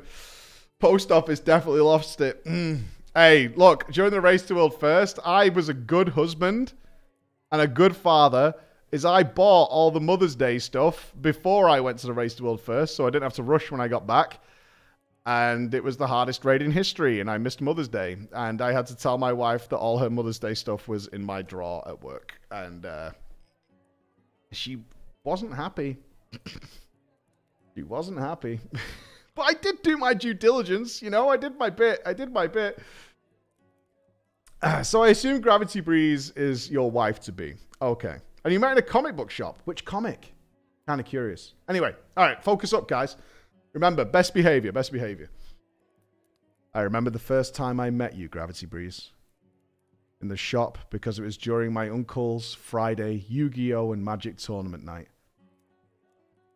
In exchange for allowing me to work for him at the ripe old age of 13, and by work I mean stock the new comic issues and the collectibles for things like Dungeons and Dragons, I would make sure to participate in the tournaments. And in the case of winning, I would essentially just take 50% of the retail price in cash, and he would resell the packs or special cards. And for those of you who don't know how bad this is, it could have cost him his ability to get stock for these tournaments along with other penalties if it was ever openly discussed and reported. you can't win your own company's tournaments, dude. That's really bad. You can't enter those competitions if you work there. That's re- that's really bad. That that's I'm, I'm not sure if it's against the law, but I think it is. Yeah, I don't think it's a case that they just wouldn't deal anymore. I think that's against the law. Employees aren't allowed. I, don't think employees are allowed to enter uh, companies' tournaments. I think. So he's working at 13. Uh, I mean, I worked at 13. I worked at 11. Her friend, Blow My Banana, was in the Yu Gi Oh! tournament and got to the finals with me, where he won because fuck you, Blow My Banana, and your bullshit Exodia. Yu Gi Oh! I don't know about Yu Gi Oh! Gravity Breeze was watching and looking through stuff in the store. And my first thought was, dang, this Blow My Banana has such a cute girlfriend. I went from the tables in the back to the PC behind the counter and pretended to be going over stuff in the system when she saw what I was really doing. I was leveling fishing in Zangarmarsh. like, there's nothing wrong with that. She was excited because she had heard about World of Warcraft and she loved Warcraft 3. So I made what I considered at 13 to be the most Giga Chad move of my life. I offered to let her level my fishing while I went to look at comics. Oh no, my camera died. Wow. What awkward time. Well, that's awkward, isn't it? It's okay. Right, I'm just in it's okay for our audio listeners. I'm just in an invisible room for two minutes. All right? Chris, I need an emergency picture of me on drama time. Yeah, Chris, Chris will fix it. Don't worry. it's to be fine. this is what happens when you stream in a hot office all day. Chris is to fix it. You just give it a hot second. I'm just to aud- I'm to serenade you audibly. It's fine. So I let her take my spot fishing in Zangarmarsh while I went back to sort new stock. Now I can reveal to you, my darling wife, what I was actually doing. I had to go and take a shit. But I wasn't going to tell you that. and she sat there, happy, just leveling my fishing. Time went by, and Blow My Banana and Gravity Breeze had become regulars at the comic store and guildies with her on her priest, and blow my banana on his rogue. We hung out regularly, and while me and Gravity Breeze had been on dates, we weren't dating. It was around what? We'd been on dates and weren't dating.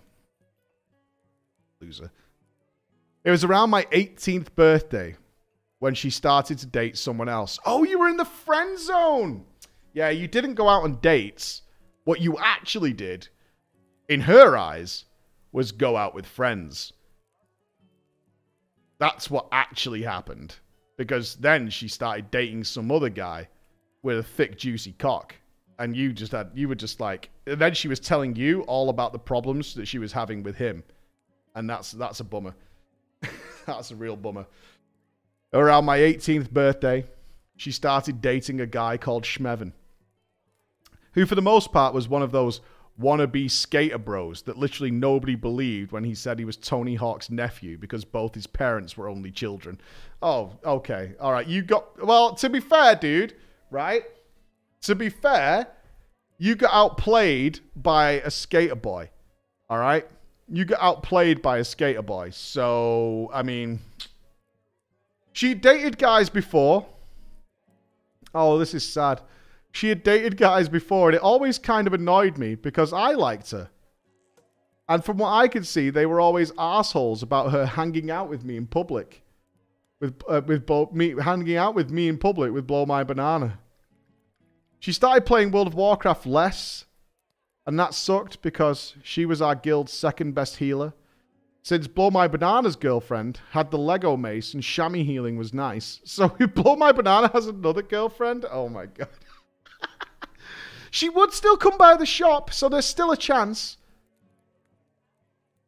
And almost every time she brought that prick Schmevin with her, he would just try and get her to leave because he didn't like nerdy shit. And I would always have a comeback whenever he tried to insult me with nerd jokes or whatever he saw as witty. And then I had to apologize to Gravity Breeze because it came across like I was being a little bitch about them. Oh, no, dude. This is tragic. I know you marry her in the end, but this is sad. Right? Uh, can you move the picture, Chris? Yeah. Come on. Ooh, there we go. We're fine. We're back. There we go. this is a sad story. Stick with it. The Lich King's, Lich King's time had come, and so had Schmevins.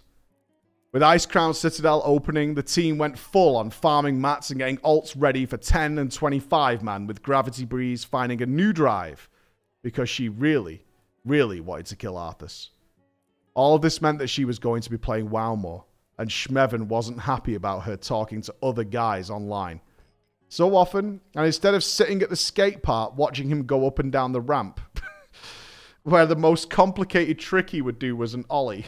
oh, you really have it in for this guy. This is so mean. One day, while I was putting out a few sets of the Warcraft trading card game, that only really sold when we traveled for card conventions because of loot cards, in she walked. Gravity Breeze came in and went in the back to get ready for our Dungeons and Dragons game, waiting for the others to show up. I could see she was upset but I had a job to do. And I already knew that the problem was because of Blow My Banana. You see, Schmevin, being the wonderful skater guy that he was, had been caught texting some other girl. And she had seen that he had sent her a dick pic. Now, this isn't bitterness talking, but I saw the dick pic. And it was like if you took two Tic Tacs and lined them up and then ate one of the Tic Tacs. No, no, yeah, I mean. So you're saying you're telling this story to make up for your lack of anniversary gift for your wife? And I want you to turn. If she's listening now. Hello. Big dick, though, didn't he? Like a rocket. Like a fucking rocket, right? You remember? Like a rocket. it was unreal. It's unreal. Don't put me in this position. Don't put me in this position while you're explaining your friend's dick pic to me. Gravity Breeze found out and told him to fuck off. and he blamed her, saying how she was the cheater. Oh, he projected. What a dude. He said it was, how could he not have sent those pictures? That she was the cheater. Because he knew that she was fucking both me and Blow My Banana and was the comic book nerd's whore. I guarantee you that's not the case. That's not the case. Is there? Uh, I imagine there is comic store groupies, but I don't feel that's happening. Schmevin actually came in a bit later and was pretty upset, asking me, Where is Gravity Breeze? I told him she was in the back and asked what was up because I was at work and had to pretend to be able to tolerate him and be polite. He just said, It's none of your business, nerd which was technically true. So I just went back and back it back to it until I heard screaming and a big bang like something had fallen over. I ran back to see what happened, and the two of them were arguing with a Batman display knocked over. Keaton? It would have been Keaton, right? Not Clooney. Was it Clooney? It was probably Clooney. 2007? Probably Clooney.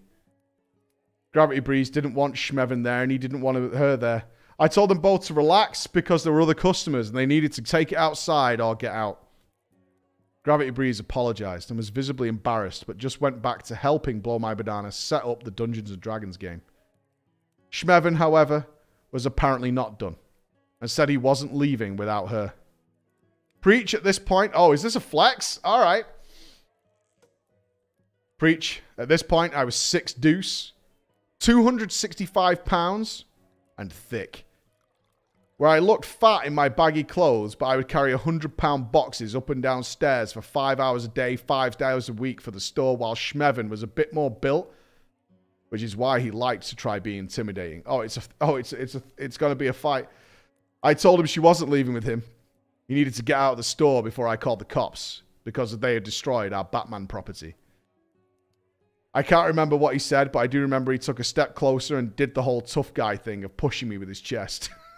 it's important to note that I was at work. This was my uncle's shop. This was my job.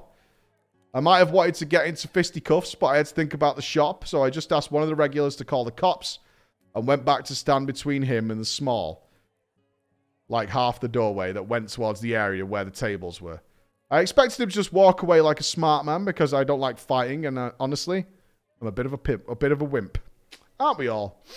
We're all big until someone throws a fist at us. Well, he was not a smart man. And he punched me in the face. Oh no. oh no. he just punched me in the face. Son of a bitch. Uh, he said something smart ass, and I just did what every fighter does who doesn't know how to fight, and I grabbed him and we just kind of rolled her over, knocking chairs over. I got him on his stomach and held his arms until the cops came and he was charged with assault and trespassing while he tried to say I assaulted him, but thankfully I had witnesses. It cost him $500 dues for destroying the Batman display. Oh, it's bail. $500 dues? That's a bail. That's a bail. Dungeons and Dragons. It was actually fun that night. And pretty soon we reached heroic 25 on Arthas a few weeks later. And we got stuck at him for a bit. I had died constantly on most pulls because I would pull threat as a paladin or just be generally shit at the game. Gravity Breeze had told me off. Had told me. Gravity Breeze told me that if we killed Arthas that night and I played well, she would give me a beach. Nice. Not only that, she would take me out to Bogey Steakhouse. What is Bogey Steakhouse? Which one's better? The beach or the steakhouse? Checking. Checking. Oh, I don't know, dudes. The steakhouse looks really good. It looks pretty awesome. Look how happy this guy is. Check it. This looks really good. Uh, actually, wait a minute. What is that plate? Is he laughing at the size of his portion? Is this supposed to be an American steakhouse? You can't beat our meat. Okay, they've got a sense of humor. They've got a sense of humor. What's all the empty plates? Hang on, this place looks like a scam, actually. He's laughing at the prices because he's not paying for it. His dad took him. I don't know. Bogey Steakhouse looks kind of scam, actually. I kind of laughed because it was her and we only ever saw movies. Oh, that's how she made a play because your dumbass didn't know how to make a move. She is eventually just straight up resorted to saying, I will suck your fucking dick because you didn't know how to make a goddamn move. Oh, this is so sad. Oh, God. Jesus Christ, man. I want to know. I would love Gravity Breeze. If you're listening to this, Happy anniversary. Um, I need to know how many signals you sent this guy. I can imagine it was like the bat signal, right? And he still couldn't see it. I have to imagine it was pretty much the bat signal. To the point where you resort to like, I will literally suck your dick if we kill Arthas. Hint, hint. And I will take you for dinner. And you're like, funny. what? what? Oh, Jesus Christ. Yeah, actually dodging IRL. Still unclear? I don't know. I don't know. It could be anything. It could be anything. well, we killed him that night with a total pull count of 80, and surprisingly, I survived. I managed, I got a roll uh, on Invincible uh, with 100 after both me and Blow My Banana were tied with DKP. Oh, she played you like a fiddle. Gravity Breeze took me to Bogey Steakhouse and I had to pay. Nailed it! Yeah!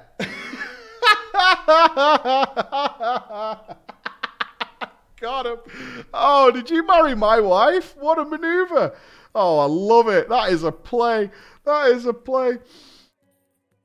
Gravity Breeze and I had our first date, which cost me $50 because Gravity Breeze taught me into paying, but I would definitely do it again. did you get a beach, though? You've left us. I don't know if we did. We never find out. We don't know if the blowjob was real either. we don't know. We don't know. We don't know. It's not here. I'm sorry. There's, there's no evidence. To this day, I work full time at that comic store, and we even have things like Hearthstone tournaments via laptops and now the new Metaz- MetaZoo card game. I almost have her convinced to let me name our first child Preach. No, I do not consent. I do not consent. I do not consent. Uh, let's be clear on this. I don't like the name Preach. Okay? And you could check back. About five years ago, I tried to stop being called Preach. I just wanted to be Mike. And they wouldn't let me. They didn't like it. They got very angry about it. Today, I accept it. I've moved on since then. I've moved on. I've moved on. But yeah, let's not go there. Why you, um, yeah, you know. I almost have her convinced to let me name our first child Preach, but the current cost would be my testicles, so I'll have to settle with her choices. No, it's not that. It's not Preach or her choices, right? This is this is entirely. Mm. Have better options, right? We argued about kids' names for like eight months. You know what Emma wanted to call our kid? Like Gregory. Now, there's nothing wrong with Gregory. But I'm not having a Gregory. That's not going to work. Right? Oh, Ethan. Ethan was up there. All these things. Gregory, Ethan. I think she said Hugh at one point. No, not Greg's. Yeah, you okay, not Greg's. that's the end. That's that. Which part of this is the anniversary gift to your wife? Your story is your wife was banging another guy and you didn't recognize the signs forever. Happy anniversary. Happy anniversary from all of us here at Preach Game. I'm not sure which bit's the anniversary. it's a good tale, though. Hey, you fought. You fought. You are definitely. Can we get an update on the beach situation? We need to know. Right? I mean, she made you pay for dinner. Did you blow her? Which is fine. Jithy. And Cooksey. Do they all fit in? Yeah. Nailed it. Ooh, yeah. Okay, our final story for today. Oh, God.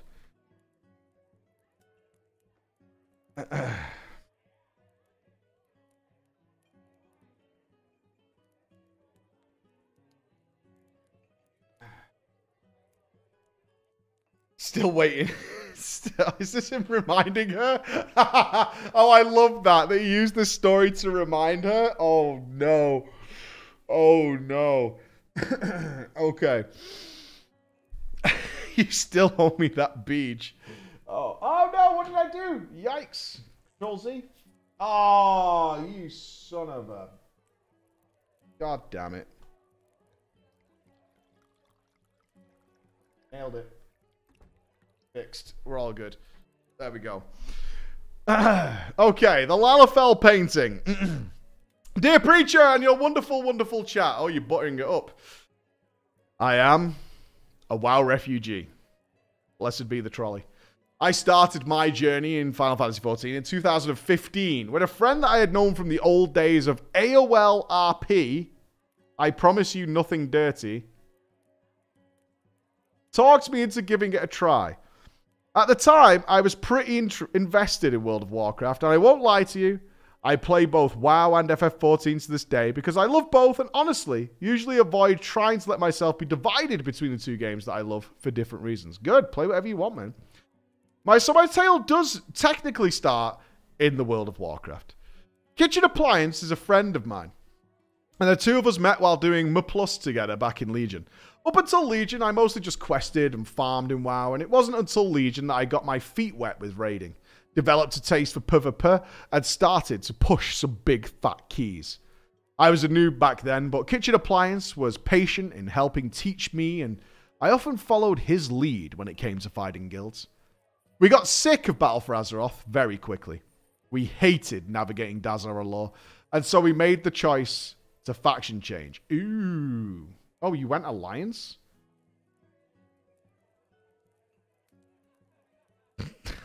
That's not the solution.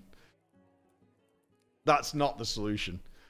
We moved servers, found what we thought was a good guild, but we constantly had headaches because the guild leader's IRL friend and the main tank for the guild would just randomly go AFK during the raid and trash, and boss fights to answer the door for his weed man.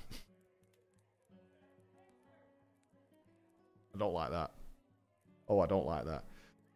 That's actually a really good usage of that door, though, Chris. That's a really good usage of that door. We ended up choosing to leave that guild. And while there was drama, it wasn't really that bad. And we walked away with two new friends, Celise and Cooksey. The four of us quickly started our own guild, which is, of course, the beginning of many a drama time. And as you know, during the middle of an expansion, it didn't go well. It was mostly just the four of us me, a fire mage, Kitchen Appliance, a priest, Yahalan, a warrior, and Celise, a demon hunter. We always needed one more person to do groups with, and eventually, Yahalan met someone named Aristai, who came as a package deal with his wife, Jithy. Cute little Vulpera hunter. Now there's six of you. This doesn't work either. This is a terrible deal. You've gone from four to needing one to getting six. This is terrible. This is um, this is ultimately awful. Up until this point, I'd been the only girl in the circle. Not for lack of trying. Throughout our time playing, we had many girls come and go, usually chased off by feeling uh, by feeling like kitchen appliance mansplained, or because they were put off by the constant and very loud belching that Celise often did in voice. So I was really excited that there was going to be another girl in the group. But she didn't want to talk to me. I don't know why, but I kept getting the cold shoulder. If I talked, she'd talk over me to, uh, to the guys, or talked around me, avoiding answering me directly. It was really weird. I'd bring up concerns to Yahalan, and he'd tell me I was crazy. and then you got gaslit. But Kitchen Appliance saw it. And he didn't understand why she'd act that way around me when the two of us had never really even had any negative interactions or anything. Eventually, I started to notice that I was being left out. A lot. When it came to doing content in favor of her replacing me. She wasn't any better or worse than I was, but I'd been demoted, in a sense, to the bench until she wasn't online anymore. Then suddenly, oh, I was getting group invites. Part of the problem I'm going to guess here is that she's a package deal and you need five. And I bet he won't go unless she gets to go. So she has priority. I don't know why you're getting skipped though and not someone else. But this is the problem now. You've got six. Right? You've got six in your little group, but one of them has to play with the other one. Hmm. and for whatever reason, she doesn't like you. I just sort of dealt with it. I didn't have anyone else on WoW at the time that I played with, and I didn't want to complain, look like I was just upset because I wasn't the only girl in the group anymore, because really, I wanted more girls in the group. I've been so looking forward to having another girl joining and was kind of deflated when one did and wanted absolutely nothing to do with me. I was kind of getting used to our new little dynamic when Kitchen Appliance approached me about FF14. I loved FF14. I had loved our time there when we first played, and honestly, the reason I'd have even stopped playing was because we'd gotten so focused on WoW and pushing in BFA. Of course, I said yes. Of course. We brought it up to Celise and Yahalan, who were on board with the idea. Shadowbringers had just come out, and we were getting really bored with Battle for Azeroth. Ooh, Shadowbringers or BFA? ah! Which one? So we decided to give it a try. Jithy had no opinion, one way or the other, and went where Aristai went. He was a little hesitant at first, at first not thinking he'd give it a try, but then, when everybody was going, he agreed. He bought both himself and Jithy boosts and skips.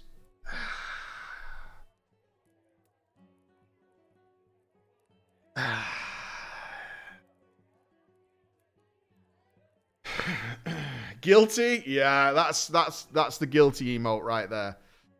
I swear to you, preach, and I swear to you, audience, me and Kitchen Appliance begged them not to do this. But we also didn't want to push because perhaps they wouldn't enjoy the story. And we understood that we were going to be playing Shadowbringers, and he probably wanted to get into Shadowbringers content as soon as possible, right? Where would you join? Did you boost? I need to ask the FF14 dudes. If you were, if Shadowbringers just comes out and you buy a boost, does it take you just to the beginning of Shadowbringers, so you just end up in the first, and you're like, what the fuck? oh god, that's got to be the most bullshit start to a video game. that's got to be awful. Didn't even get to throw wide the gates, man. Feels bad. Just end up like, oh, okay. For a while, it was good. We quested and leveled. We did Palace of the Dead, ran dungeons together. This time I didn't get set out quite as often because on 14, a main I main a white mage. I was the healer. Things with Jithy though didn't improve. Though I tried still. Eventually we decided we would make our own free company. No one wanted to lead it, and since I had run the one kitchen appliance and I had on another server, I started the free company.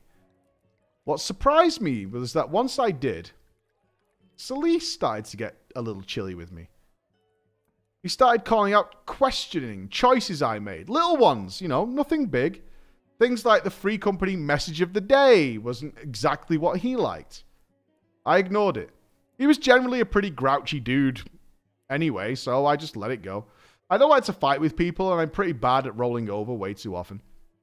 So we progressed Kitchen Appliance and I saved up our money together and we combined it with the intent to buy ourselves a free company house. We decided we'd make it like a guild hall with a bar in the basement for some RP fun. Kitchen Appliance and I tried really hard to adapt and submerge ourselves in the casual aspects of FF14, the relaxed, light-hearted side. Celise, Yahalan, Aristai, and Jithy were not really into that stuff.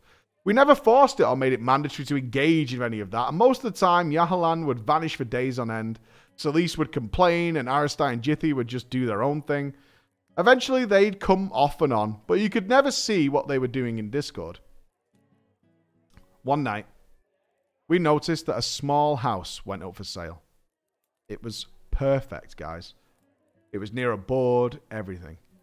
Kitchen Appliance and I right away set up and started our clicks.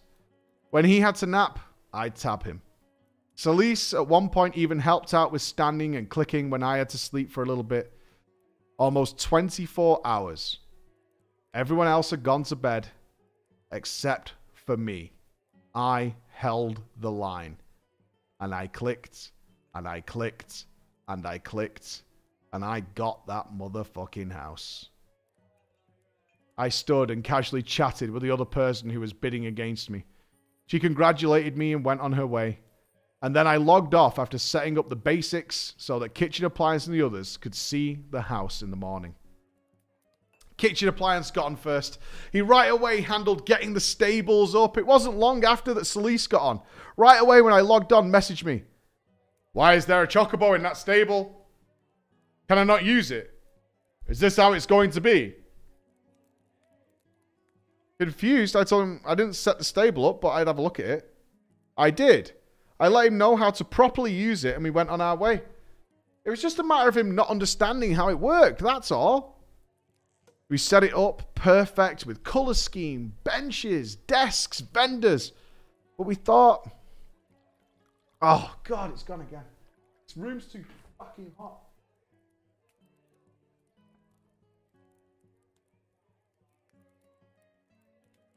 There you go. You know to five.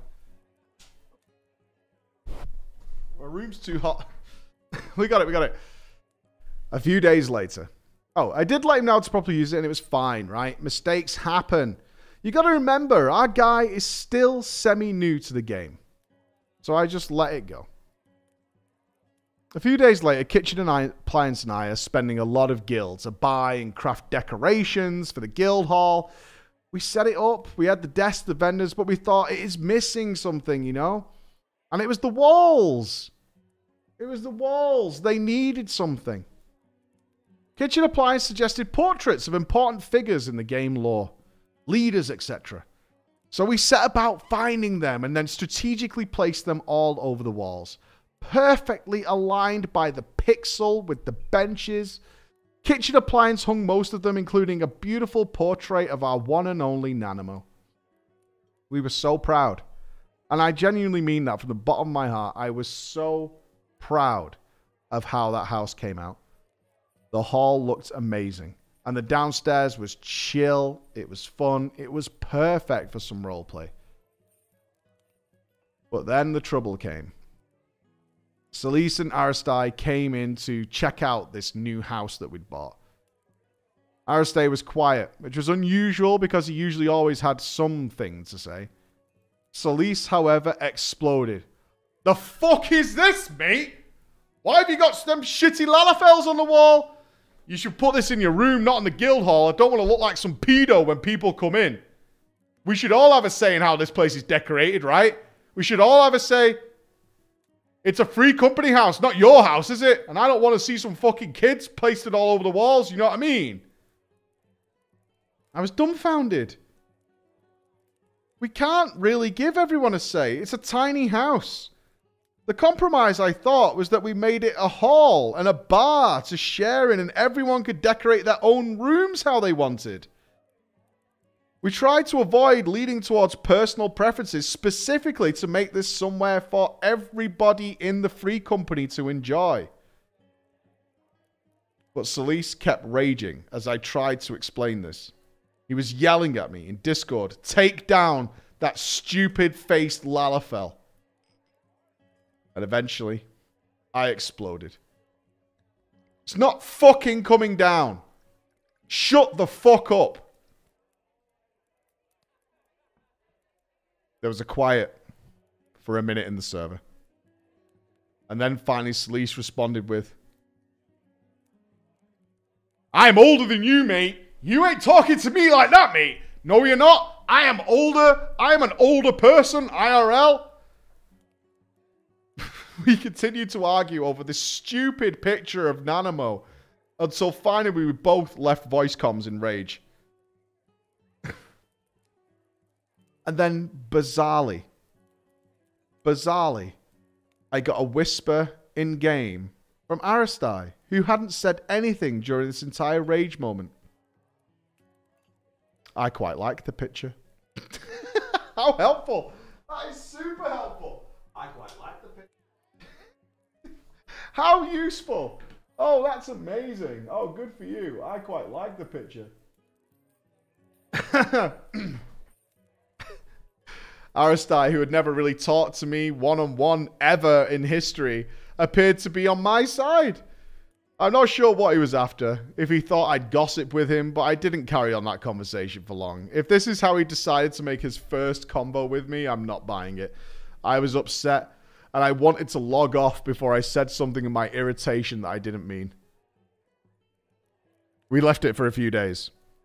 Solis and I spoke in DMs on Discord. We both apologized to each other for exploding on one another, and I curiously asked him if Aristide had said anything to him. Solis said yes. Solis said Aristide whispered him that he didn't like the Lalafell picture.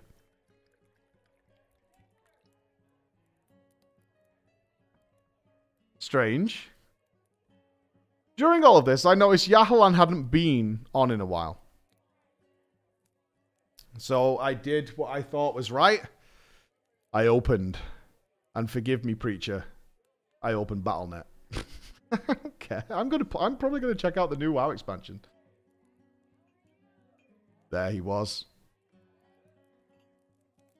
He was in Mechagon, grinding dailies. Confused, I noticed he had it set to hide what he was doing in Discord. I messaged him. Asking if he was going back to WoW for a bit. Yes. Aristai had asked him too.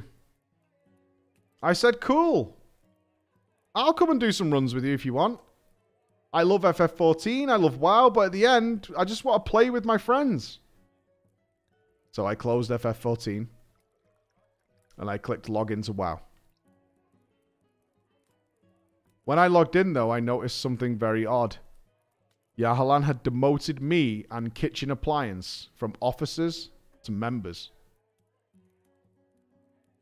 Why? I asked. There's only six of us in the guild. he said, I had to. You haven't been online in a while. What are you talking about? We haven't been on because we've all been playing FF14. You never told anybody you were going to be playing WoW again. He had nothing to say in response to this. And considering this guild was comprised of just us, I shouldn't have been upset, and yet I was. It was just such a strange thing to do. Because I also noticed that Aristai, who was a member, had been promoted to officer. And I wish I could say to you all that I didn't have a knee jerk reaction, but I had a giant fucking knee, a giant fucking jerk, and a giant fucking reaction. I just G quit. Fuck this. This is weird. I was tired. I was tired of being randomly left out. Tired of what. Obviously, there was some weird fucking conversations happening behind my back. Weird conspiracies, maybe? And I wasn't going down that road. I was tired of trying to be friends with Aristai's wife, only to have her outright ignore me for some fucking reason. So I, unfriend, I unfriended all of them except for Kitchen Appliance. And then I got a really bizarre DM in Discord from Aristai. He said, I don't. He told me he doesn't hate me as a person. But I AFK too often in game.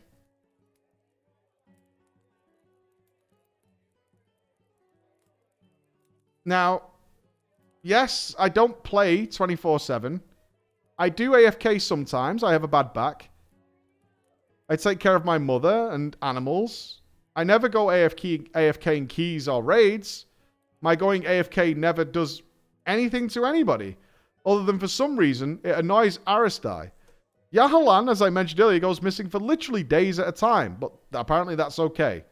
So, thinking back on it, I think it was just an excuse. So I just blocked him on Discord. yes. Fuck off. Kitchen Appliance quit FF14 and WoW both because he was tired of MMOs, and I was basically just left by myself.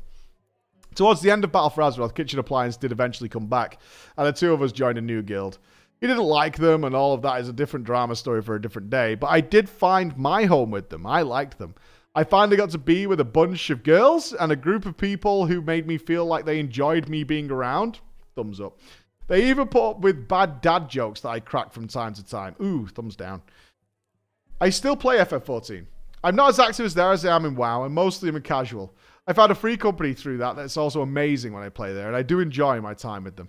In the end, I do suspect that maybe Jithy didn't like that I was there, and that it's entirely possible her and Aristai conspired to push me out. Between the talking behind my back, the pulling people away, etc., it's hard to think otherwise. I wish we could have just been friends. I have amazing friends and a wonderful guild now full of people that I adore, and I guess I wouldn't have met them if it wasn't for all the horrible people. P.S. I am pushing keys and raid healing now on WoW. A lot more confident than I ever was before. The guild I'm in constantly builds me up and helps me when I need it, and I'm thankful to have found them. I hope you enjoy your journey in FF14. I just finished Endwalker a few months ago, and it was a wild ride. Endwalker been out that long? If you read my story, thank you for taking your time to read it. And I hope you and your chat are having fun playing whatever games you guys enjoy playing. Four months? Like four months? Yeah, not that long. Thank you for your tale. And yes, don't get played by fucking idiots. The amount of drama stories I get, man, that are, I'm in a shitty guild and I stayed there for four years while getting treated like a piece of shit. don't. Just fucking go. Cut the cord, man. Pull that ripcord. Free yourself. You can do it. You can get out of there. Run. Run for your life. Five months, actually. Okay. Nanamo destroyed the evil. I will take that, that Nanamo destroyed the evil, for sure. Fuck all that noise. yeah, piss it off, man. Ladies and gentlemen, it's been a good old day. A good old day, a good old long stream. I think we've been on for nine hours or so, and it is time to take my leave. I am a wedding all day tomorrow. Uh, so there'll be nothing happening tomorrow, but maybe on Sunday, unless I'm uh, going to spend some time with my kids. But it's been a tremendous week. Next week, we have so much stuff to do. We have extremes. We have so many other areas to check out in FF14. We might destroy some chaos. It's got to be huge. It's got to be huge. So I hope to see you then. Be awesome, dudes. I'm going to say goodbye. And I'll see you at least on Monday. All right? Bye, everybody.